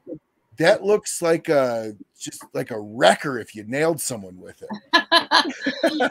Or it, uh, you know, uh, it's funny. Even when we're sitting in this corner in the house, for some reason, I, I, you know, I always uh, relate our life to our childhood. If you look at any baby, the first thing he's astonished and amazed to discover is his hands, those little hands, you know, and and I think it just went with me all the way until now. I'm 52 year old young baby, and I'm always, you know, when I'm smoking cigars, I always put the band at some point. I put the band as a ring, and I just enjoy it even alone. Me, my husband sitting here, nothing, nobody's here to see it, but just enjoy wearing a ring and enjoying my cigar with that ring. It's fascinating to me. Well, that that's a very nice looking ring uh, that you have, and it's a beautiful looking band ring uh, that you have as well. Thank you. Thank Now, I want to kind of dig into a little something, and it's a segment I do with literally every guest because it's a segment that's near and dear to my heart. Um, I'm 37 years old. Uh, I know I look significantly older. You don't have to say no, uh, but so I'm 37 years old. But I will tell you that I have people in my life that are the only reason why I'm here today. And I'm not even talking about family or my wife. That's my drive. I'm talking about people that supported me, that told me news that I didn't want to hear, that I avoided phone calls because I knew they were going to say what I didn't want to hear but needed to hear. And those are my mentors. And and fortunately, uh, Dan Thompson of McAuliffe is is somebody I'm very proud uh, to call a mentor of mine. Actually, refused me to be a partner the first time I ever met him, even though he had watched the show and I worked my ass off, and then finally approached him, and he's like, "Now you're ready." That was one of the highlights of my life to have somebody that meant that much to me deny me to then just turn around, deny me to build me, not deny me to break me down but he knew my mentality was you tell me no all i'm going to do is build that and build that and build that. So i want to ask you as somebody that's been through multiple careers multiple countries and has now ended into the cigar world what is your idea and concept of being of having a mentor or having a mentee underneath you? Well, I've I've always loved reading, and uh, I come from a different culture where I had to learn different languages uh, from very young age. I went to a French school, and my first reading that really made a big difference in my in my uh, perception of life was Victor Hugo. And uh, one of his quotes was, "To love is to act," and I've always followed that motto in my life. Indeed, to love is one thing, but just loving and stopping where you love that thing is never enough. It's you need to act as little as that uh, that act can be. Uh, and all my life I followed that, and a lot of quotes in my life. Uh, one of them is an Australian author, also is I think Justin Harold. He said, "Winners make things happen, losers let things happen," and I yes. do follow that hard, yes. like deep inside my heart. I always put that in mind whenever I'm feeling a little down, a little low. I go like, now recently, of course, I have to admit that looking at Fuad's career and one day hopefully he will be on the show and I will be just every day I listen to him how he made it as a student to the United States and the minute he arrived to the United States his father lost his business literally after one day he went to the United States as a student, and uh, he was supposed to, to, to do his master degree in, in in the U.S. and go to California. He landed in New Jersey. The person who was supposed to pick him up at the airport never showed up. No language, no phone. He spoke English, but no, no phone, nothing back then. He stayed at the airport over 10 hours until somebody showed up to pick him up and his father called the day after he said i lost my business you either come back or you make it happen and he started working as a gas no he was before working at the gas station attendant he worked in in cleaning toilets from a student from the american university of beirut from a kind of a comfortable family he started cleaning the bathrooms in gas stations you know how what does what what yeah. does that Mean? and i just I thought always, you know, a girl looks at her father's career, you look at your mom, you see all these things, you think of yourself as your own mentor. Everybody thinks they have their own inner mentor, also. There's always a voice in your head that's pushing you either down or up. Mm-hmm. now I would say I have three people in my life. One of them is Fuad, and my two children. I have a 32 year old and a 30 year old son, two boys and I see myself in them. You know, even Fuad tells me that, wow, like look at that connection because I gave so much to my children. Everything in politics, in life, in in ethics, in culture, and now I take all that energy from them. And uh, if I'm doing anything that I might feel like they would disagree, that would be the only voice that would tell me, "Don't do it, don't do it." Yeah yes, I would. I, I have to say, like, apart from those big authors or big philosophers that I, I've always read and wanted to to do something little from their philosophy because who are we? Those philosophers changed the world. Today, my mentor is Fuad, and every time I look at him, every day I look at him, every morning I look at him with admiration and and go like I would have never been able to achieve what he has done today.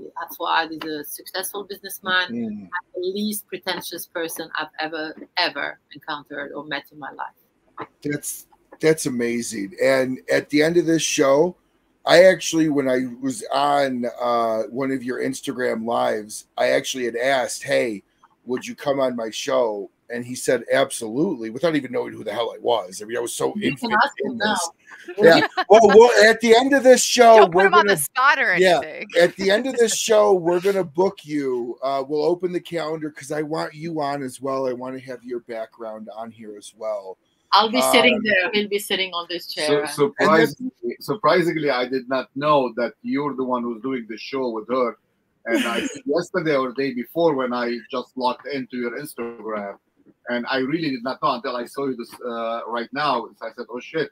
I just uh, logged into his Instagram show, and uh, uh it was uh, just. Uh, did you know you were my mentor? No. I, yes, I, you I, did. I thank you. Thank you. Thank so you make a really good point there right now. What you just did, mentor to me. I've never walked up to somebody and been like, now you're my mentor. It kind of naturally evolves, it naturally happens, and it has to because both parties. The only way a mentor is worthwhile is if the mentor is selfless and cares about your success and doesn't want anything from it. And if you have that natural, exactly, you have that natural, like, will you be this? Then it's always kind of like, well, what are you going to do for me?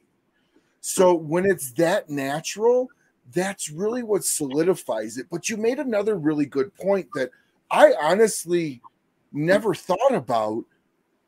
You don't ever have to know your mentor. You had mentioned authors. These are authors that probably you've never met. Authors in themselves can be a mentor if you study them, you read them, you live by what they say. And that's actually never been a concept that I've I've personally thought about. But come to think of it, there are a lot of authors that I have read where I'm like, yeah, I don't have that personal relationship, but damn, you've given me a lot of advice that I just can't turn away. And so that's a really good point. And you made another good one about age has nothing to do with who can be a mentor to who.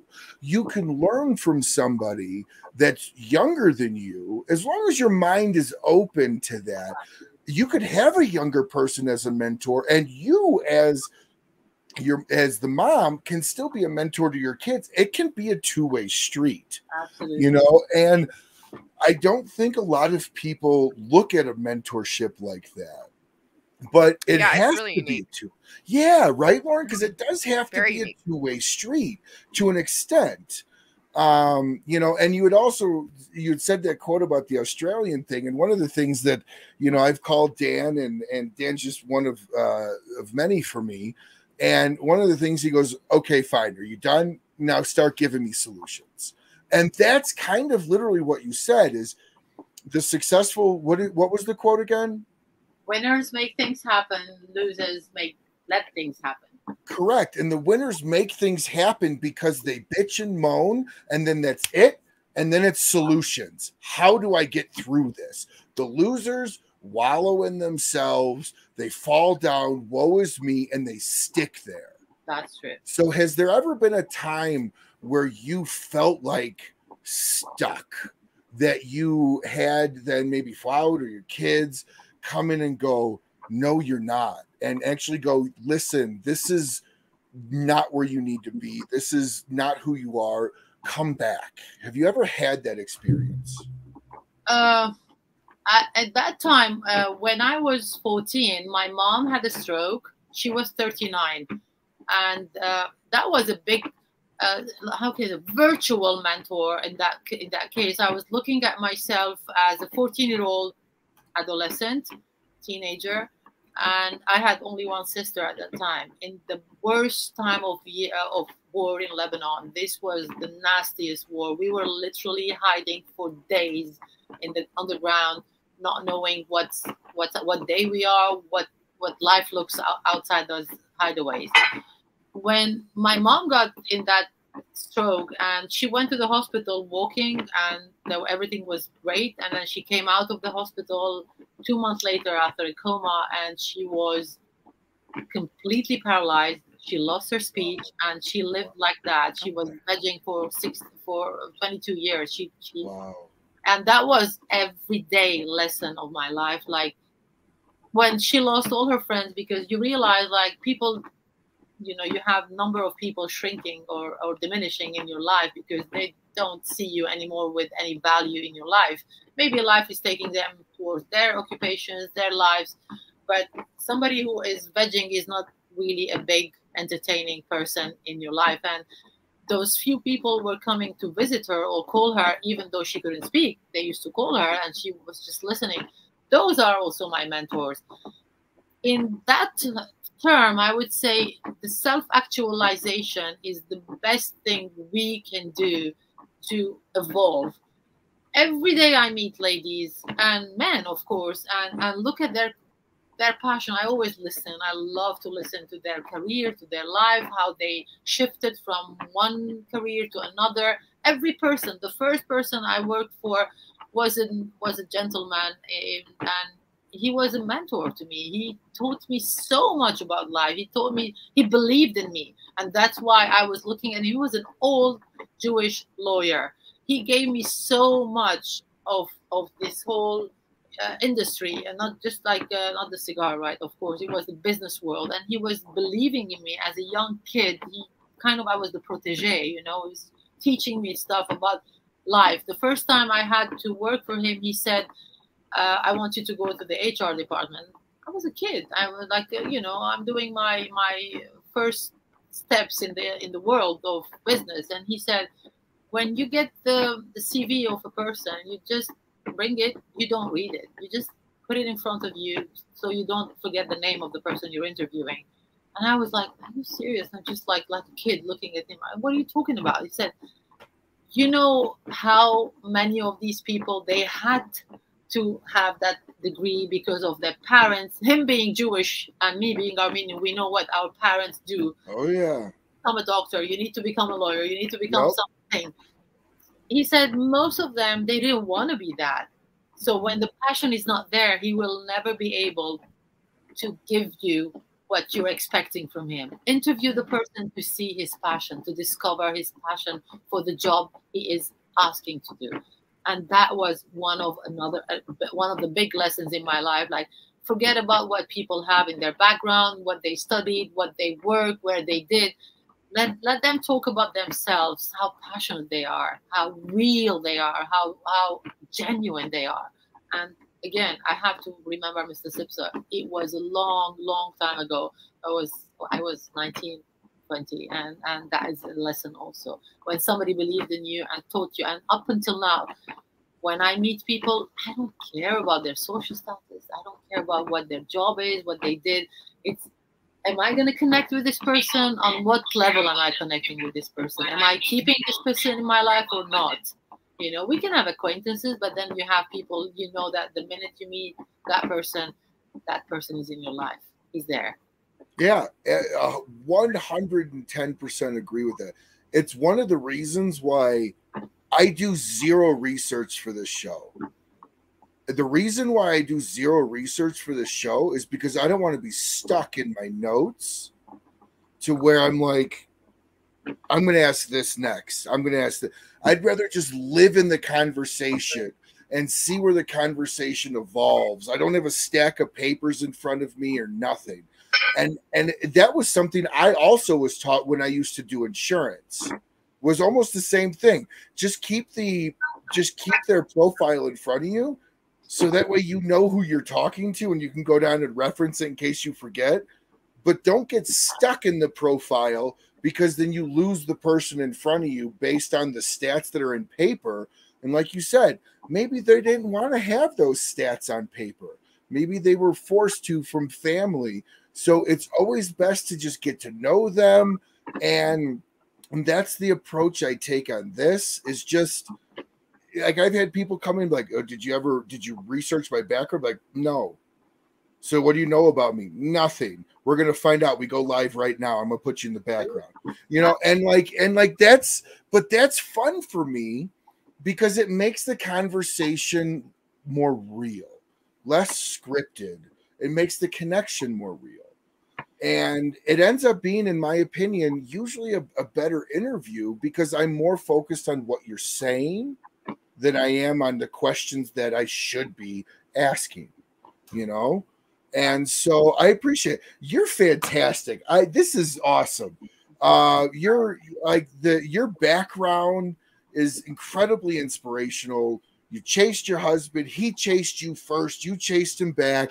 You had so that is fantastic. He's a, you look at him as a mentor, your kids. I've never had somebody say my kids, my kids.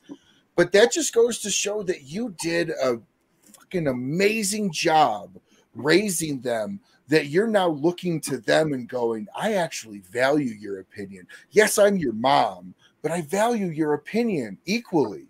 And and that is that is amazing. Uh, and that is a fantastic lookout for or a, a fantastic look on life and family.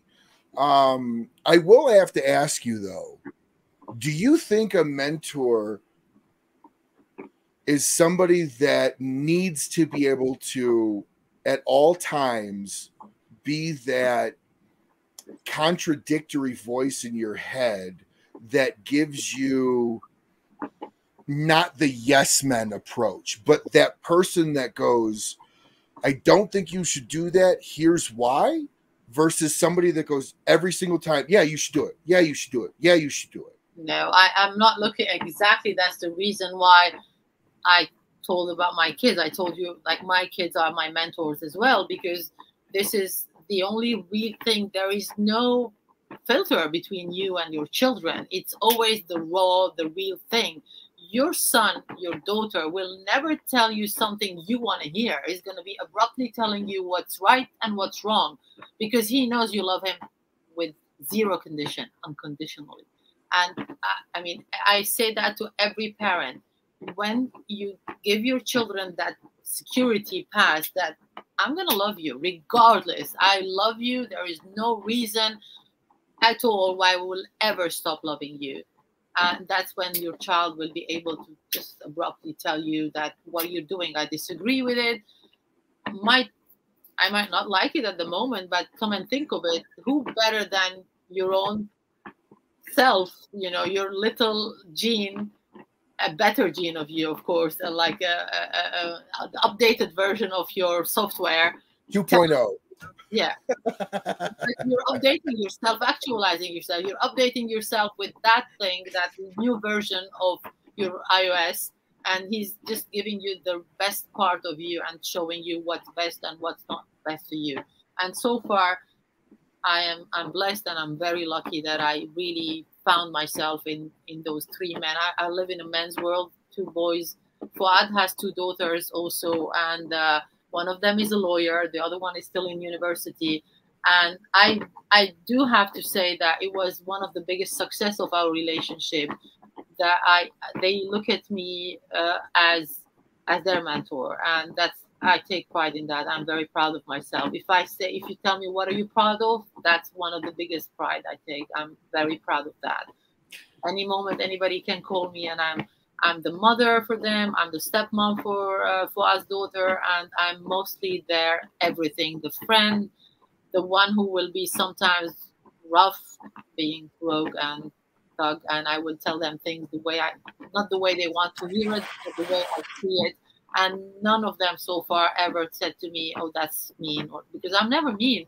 You're never mean with your own blood and with your own chosen family. You can't be mean. You just be real and in the back at the end of the day if you, they think of it I mean, why would i say something that would hurt them right? And the same thing it, it's it's vice versa. Why would the kids tell me anything that is bad for me? On the contrary they want the best for me and as much as i want the best for them.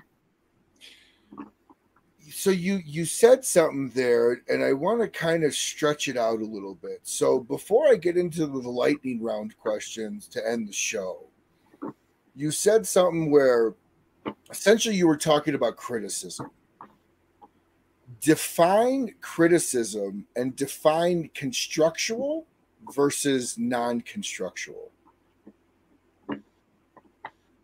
Interesting. Yes. I would say, like, when you criticize someone, just being sarcastically criticizing that's what we do in everyday life. We became especially with the social media now everybody has his own opinion. They criticize your work they criticize your life they criticize your lifestyle. Whether it's a good or a bad or whatever you're doing is every day uh, it self-actualizes you because you see that people don't know. They see something and they're they're all having their own opinion regardless of what they know what's the real thing in front of them with with your with your direct mentors who happen to be my children in this case and and Fuad when I discuss something that is critical or very crucial for a decision if the majority of those two or three people are agreeing or disagreeing that's the real criticism that will make me evolve and make it the correct the right way. I might do some alteration in the decision or some changes, but there will be definitely a beneficial. I believe in teams. I believe in. Uh, we were discussing yesterday about a certain person that to hire or not to hire. I gave my opinion about that person impulsive uh, approach to things, and at the same time, very professional person. And Fuad's approach was the criticism that he was making about my way of thinking made me think of it a lot later on about how I was wrong or right and I think I was wrong because we can always, we can never find the perfect person. He said it's always you either choose the professional or the personality, and you can never have an employee or someone you work with who has it all, who has everything perfectly well. I'm quite a perfectionist. Sometimes I like everything to be like done yesterday, done perfectly well. Yes, I do that, and it's one of my biggest. Uh, uh, negative points, you might say. I, I, I push myself hard. And again, because he discussed it with me in such an um, elevated way or such an uh, noble way, I, I do I did believe in his and I texted the person even and I said let's I want to talk to you next week and uh, have a uh, meeting with you. So yeah, that's a simple daily thing that can happen and uh, a positive criticism can also make you think that it's never really negative, really. What he said was something very positive at the end of the day, and I changed my mind. No, eh, you're 100% correct. I've been, like I said, it, when it, when we first started talking about mentors, I literally have had mentors that I've denied their phone call for a week. Not because I was going like they're going to give me bad advice, is because I knew they were going to tell me something I didn't want to hear. Yeah. But again, though, there are there is a difference between positive criticism to build up and criticism to tear down. I knew the criticism that I needed because I've been in sales 20 years. I've had a lot of help, uh, a lot of training, a lot of great advice. I don't always want to hear it sometimes because in my younger years I knew better. And and so it took me a lot of growth to be able to understand, which is why I asked you to define it because I think people look at criticism as a constant negative because you're telling me I'm doing something wrong. But in reality, criticism where they explain to you what you're doing wrong or maybe thinking of something wrong and then they turn around and go think of it this way we might not always want to hear it but if it's done with love and if it's done in a good intent it's not always the easiest to hear. But in the end you come to the understanding of I, I needed to hear that. As much as i didn't want to i needed to hear it.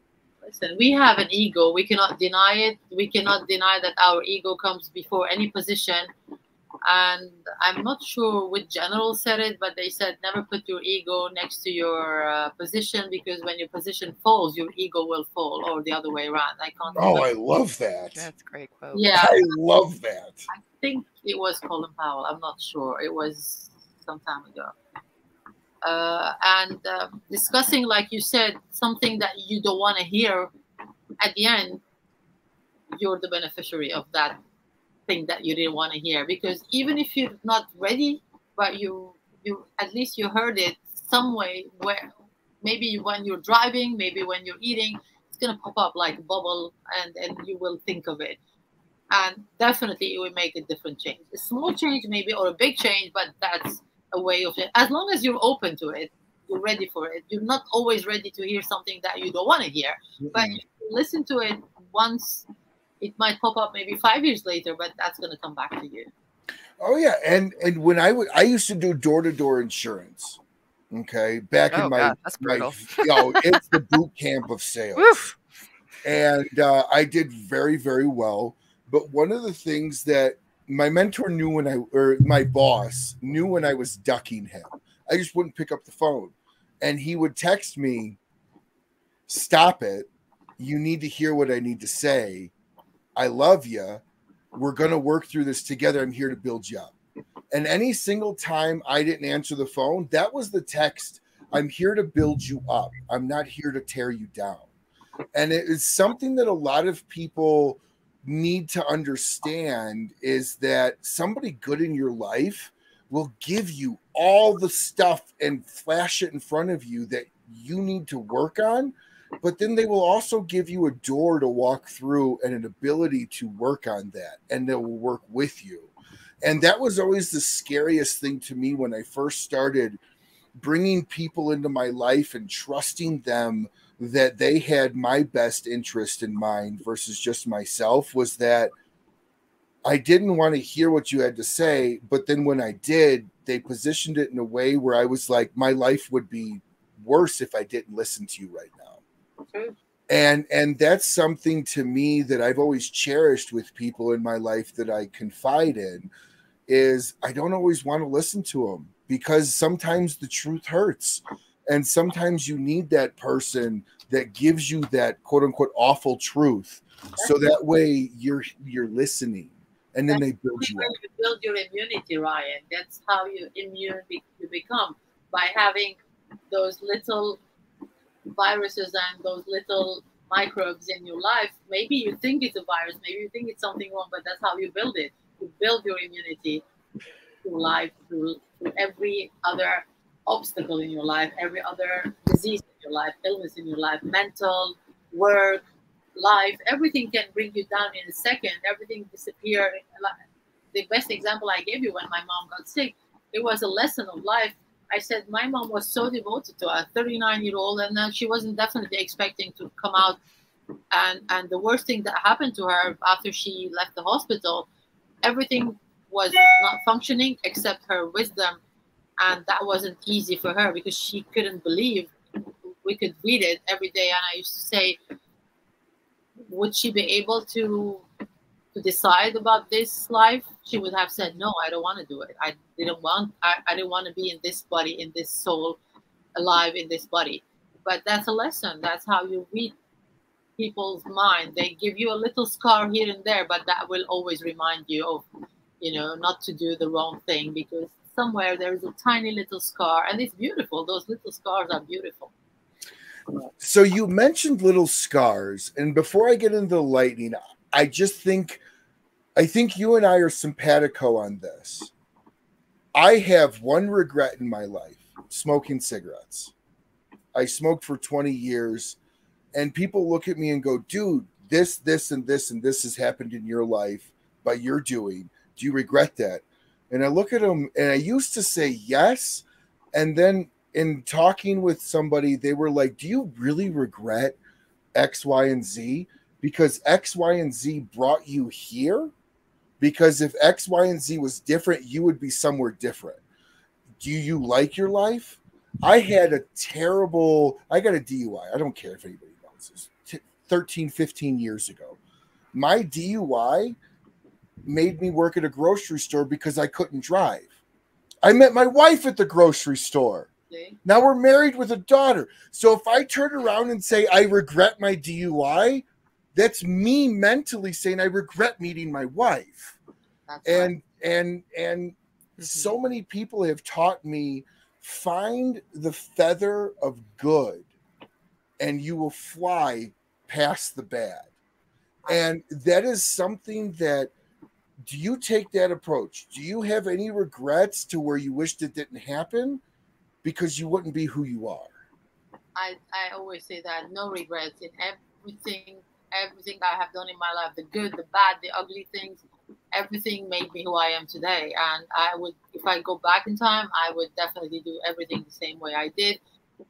If I had to listen to more people or tell more people that I love them I wouldn't regret. I, I always express my love to people now because I know life is too short really short. Some people need to hear it. Some people need need that little five extra minutes of time that you're busy and and uh, Fuad always tells me uh, I wish you could listen to yourself when you're talking to people encouraging them through hard times through difficult times and do it to yourself. But that's what I tell him. It's like the doctor always is the last person who will heal himself and the first thing we'll do is talking to people and taking care of them. And and I'm I do take pride in that. I love to listen to people, and I know that every one extra minute of your time on the phone, or sending a card, or just calling someone in times of uh, in, in difficult times, you know the person is devastated. It's going to be a negative conversation. But I hear it a lot. Oh, I don't want to hear this negative person in my life. No, we need to. We, we need to support each other in every aspect. We've been through a lot. Some people were there for us and life is a cycle you know today is my turn to listen to other people and there will be times where i will have i will i'll be seeking help, and I'll be looking for someone who is there to to listen to me, even for a few minutes, and make me, you know, give me some comfort there. Oh, We're not we're- superheroes. we're kindred spirits. I, I I I love you, and this has been fantastic. So let me jump into some lightning rounds to wrap up the show. All right, so these are just real quick answers, uh, and these are just kind of to give people a little insight into what you enjoy. So, what is your favorite rapper? Now, I've had people give me musician and cigar wrapper, or just cigar wrapper. It's completely up to you but what is your favorite rapper? And then part two to that, what is a wrapper that you would like to work with that you haven't yet? Yes. Um, I love Corojo. It's the one you're smoking right now, there over there. And the the next wrapper that I've always I've been working two years, exactly two years now, uh, for the Cameroon wrapper. Ooh, And only last week, after more than 20 different blends, totally different blends, to come up with the perfect Cameroon that will will give me that X factor the, of, of satisfaction. Like no number, like no way of describing how happy I was was happened last week. Just like that, it took less than half an hour. It, less than half an hour. It was just there. You know, two years after two years of work and that was I love Cameroon. I, I like the full body, full flavor uh, cigar, full body, and mostly full strength. And that every time I smoke it, I still next time I will miss it again. You know, when I'm finishing my my first my first cigar, and and I want I look forward for oh tomorrow I'm going to smoke the same Cameroon again, and I'm I'm so excited about having it soon. It's now getting. Uh, it's in the factory. It's in the process of getting ready, and I, I can't wait for it. In terms of cigars, that's one of the things. Yes. All right, everybody. So be on the lookout for a Cameroon wrapper from Hiram & Solomon. This is Mhm. absolutely fantastic. I love the Cameroon, so I'm looking very forward to that. Uh, what is your favorite size cigar? Uh, I, I- I pretty much like Robusto and Toro. It, Oh yeah. I, I'm I'm very much and I like a straight cut Robusto. I don't know why recently I'm much into Robusto, but a Toro. But then again, if it's a full body, I like a, a, a little bigger gauge. Sometimes I, if I'm gonna have like a full strength cigar, full not just full body, full strength that goes right on, you know, with the full nicotine, which is the case of the the broadleaf, Pennsylvania broadleaf. It has you know very big, intense, harsh flavor. I like a bigger gauge in that. It depends. Uh, we have the Veil Prophet. I like it in a bigger gauges. The Veil Prophet. Although we have the Lancero, I love Lanceros. Again, it's like asking about your children, which is your favorite. It depends. I I love Lanceros. I'm I'm that person that's like make a Lancero. I have boxes in my humidor. I love Lanceros. So you had said straight cut Robusto. So I assume straight cut's your favorite cut. it is. Okay. What is your favorite pairing? it could be as simple as a as a Perrier or Pellegrino as and and it can go to I love cognac I love bourbon but I'm uh, I mean I'm loving bourbon because of Fuad I was not a big bourbon person until I, I moved to the United States and uh, discovering the bourbon world is quite intriguing quite exciting uh, love wine of course Mhm. uh, I love a full body wine I think you're drinking a Syrah, you said. And Oh, Lauren. Lauren, what were you drinking there? Oh, drinking Shiraz. oh Shiraz. Yeah, I Yeah. love Shiraz. hmm Oh, I, I like good Italian wine. I like good French wine.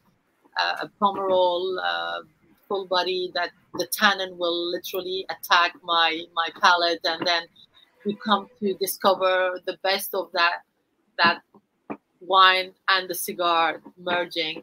Coffee is also a big thing in my life. I love a good espresso that is like short, give me a punch, and then that the cigar is coming.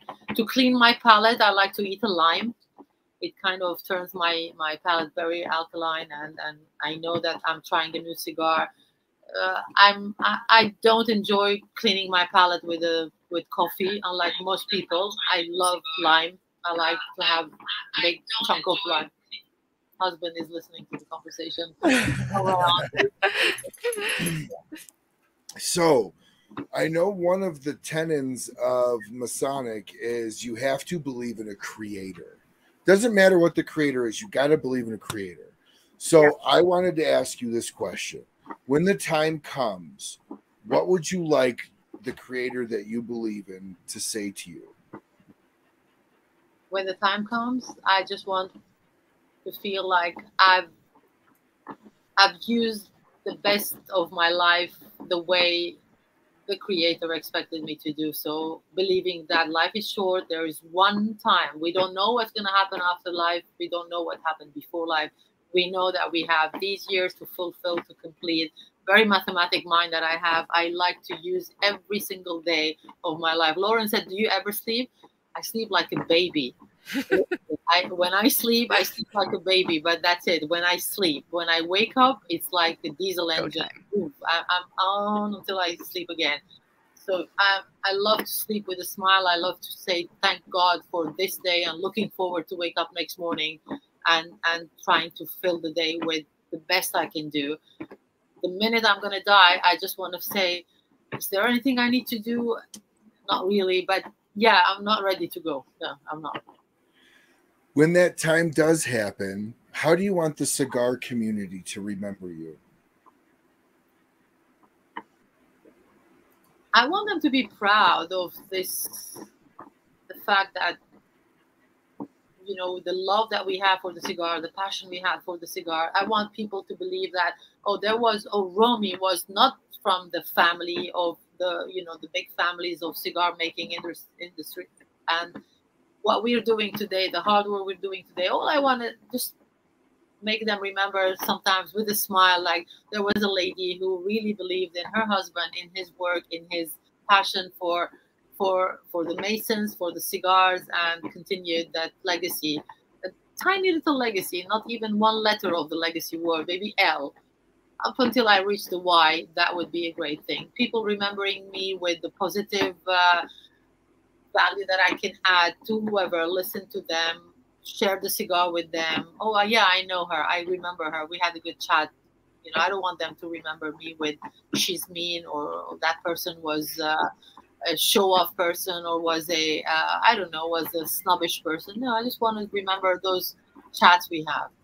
Those precious chats, you know, that's how I remember. I meet so many people in, in the world of cigar, we meet people every single day. And some people just remind me, they go like, oh, I know you don't remember me, but we smoked this. I go like, yeah, I remember we had this conversation, you know? And a lot of ladies, one of them, Ana Ramirez, I think, she's doing her own cigars and uh, she's a lady from Dominican and she was devastated for some reason things went bad in the business and she was hoping to have the cigars. And we had a little chat. She was like, "Oh my God, that really encouraged me. I want to go on. I want to pursue it. I want to do it." And I said, "Yeah, don't let don't, don't let anything bring you down. Just move, move forward. We're here to help. You need anything, call me. You need anything, call Amanda. Call Leo. Leo is an amazing example. Leo, mm-hmm. of course, of Nova Cigar. She's an amazing example. Love Leo. Love her. Yeah, she was on last time. Yeah. Yes, absolutely. Mm-hmm. Anastasia, all these people, I'm talking about the ladies here, but also a lot of men, like the Fuente family, all the charity they do, all the great job they do, the the, the female part of the family doing all this hard work, uh, Cynthia, Carlito himself. This is this is an example of people you want to remember and you want to always look at them with a smile. You know, I just love that community of Amanda, when I met her in person, it was that woman has an energy that you, mm-hmm. you, you, you know, you just. I want her to be my friend. I don't care. She's great. I want, you know, I consider her my friend. I recently met met also ladies in the industry that are the second generation or the third generation in Dominican. Raquel Quesada is one of them. Oh yes. She yes. works like there's no tomorrow. She's a social figure. She She's number one in the factory. Of course, she has her father, the biggest figure, and the guy is a big, big person, big persona in the world of cigar. And the work she has done with, you know, she has a small family. She's everywhere. These are people I look forward to be tiny but mighty in there in, in that in, in my opinion i should be tiny but i can be you know existing one day i don't want people to forget that mighty presence of the tiny person i am Absolutely. In the words that Anastasia taught me, standing alongside every good man is a great woman. And Romy, you are that great woman. Thank you so much for joining us tonight. I truly, truly appreciate it. I appreciate you being an open book and to go down yes. some of uh, some of these avenues. And I hope I gave you something different um, to kind of show who you are more uh, to the world than you have had in other interviews. And Hiram Solomon will forever be part of the Rocky Mountain Cigar Show family and will forever be uh, more than welcome to come back as often as either of you, each of you, independently or together, would like to come. So thank you for being who you are. Thank you for being a fantastic woman in the cigar world. Yes. And just thank you for being you. And thanks for so much for coming on. I really, truly appreciate Before it. Before we say goodbye, I'm, I want to say also a word about some person that I just, it just popped up, the bubble popped up. Karen Berger is a mentor. Yes. Yes. I love Karen. I love this lady with all the story behind her, and I wish her all the success. She's someone who made it happen. Exactly, Karen. Kudos, good luck in everything she does. She's a woman I aspire to to to even achieve one percent of what she has done. Yes, Karen was an absolute pleasure to have on. Yeah, her and Bruce. Her, every single person was attending this beautiful gathering tonight. Everyone, Larry, every Bill, all of them. These are family, and thank you so much for being here. Thank you to thank you. Absolutely, thank you to Lauren for to Romy uh, for coming on and spending the night with me, and as always, thank you to everybody that tuned in tonight. I hope you really truly enjoyed the show. I learned a ton. Uh, and I also learned that uh, I have a kindred spirit in Romy. So I mm-hmm. truly appreciate it. And uh, Lauren, I hope you had a great time as well. Yes, I, I was just riveted, honestly. I just love listening to you talk. You have oh, just just so profound. Absolutely. Thank you, so Thank you. Looking forward to seeing you both soon. Yes. All of them and all of us, big family. Let's keep it like that. Have a lovely night, and it was a pleasure.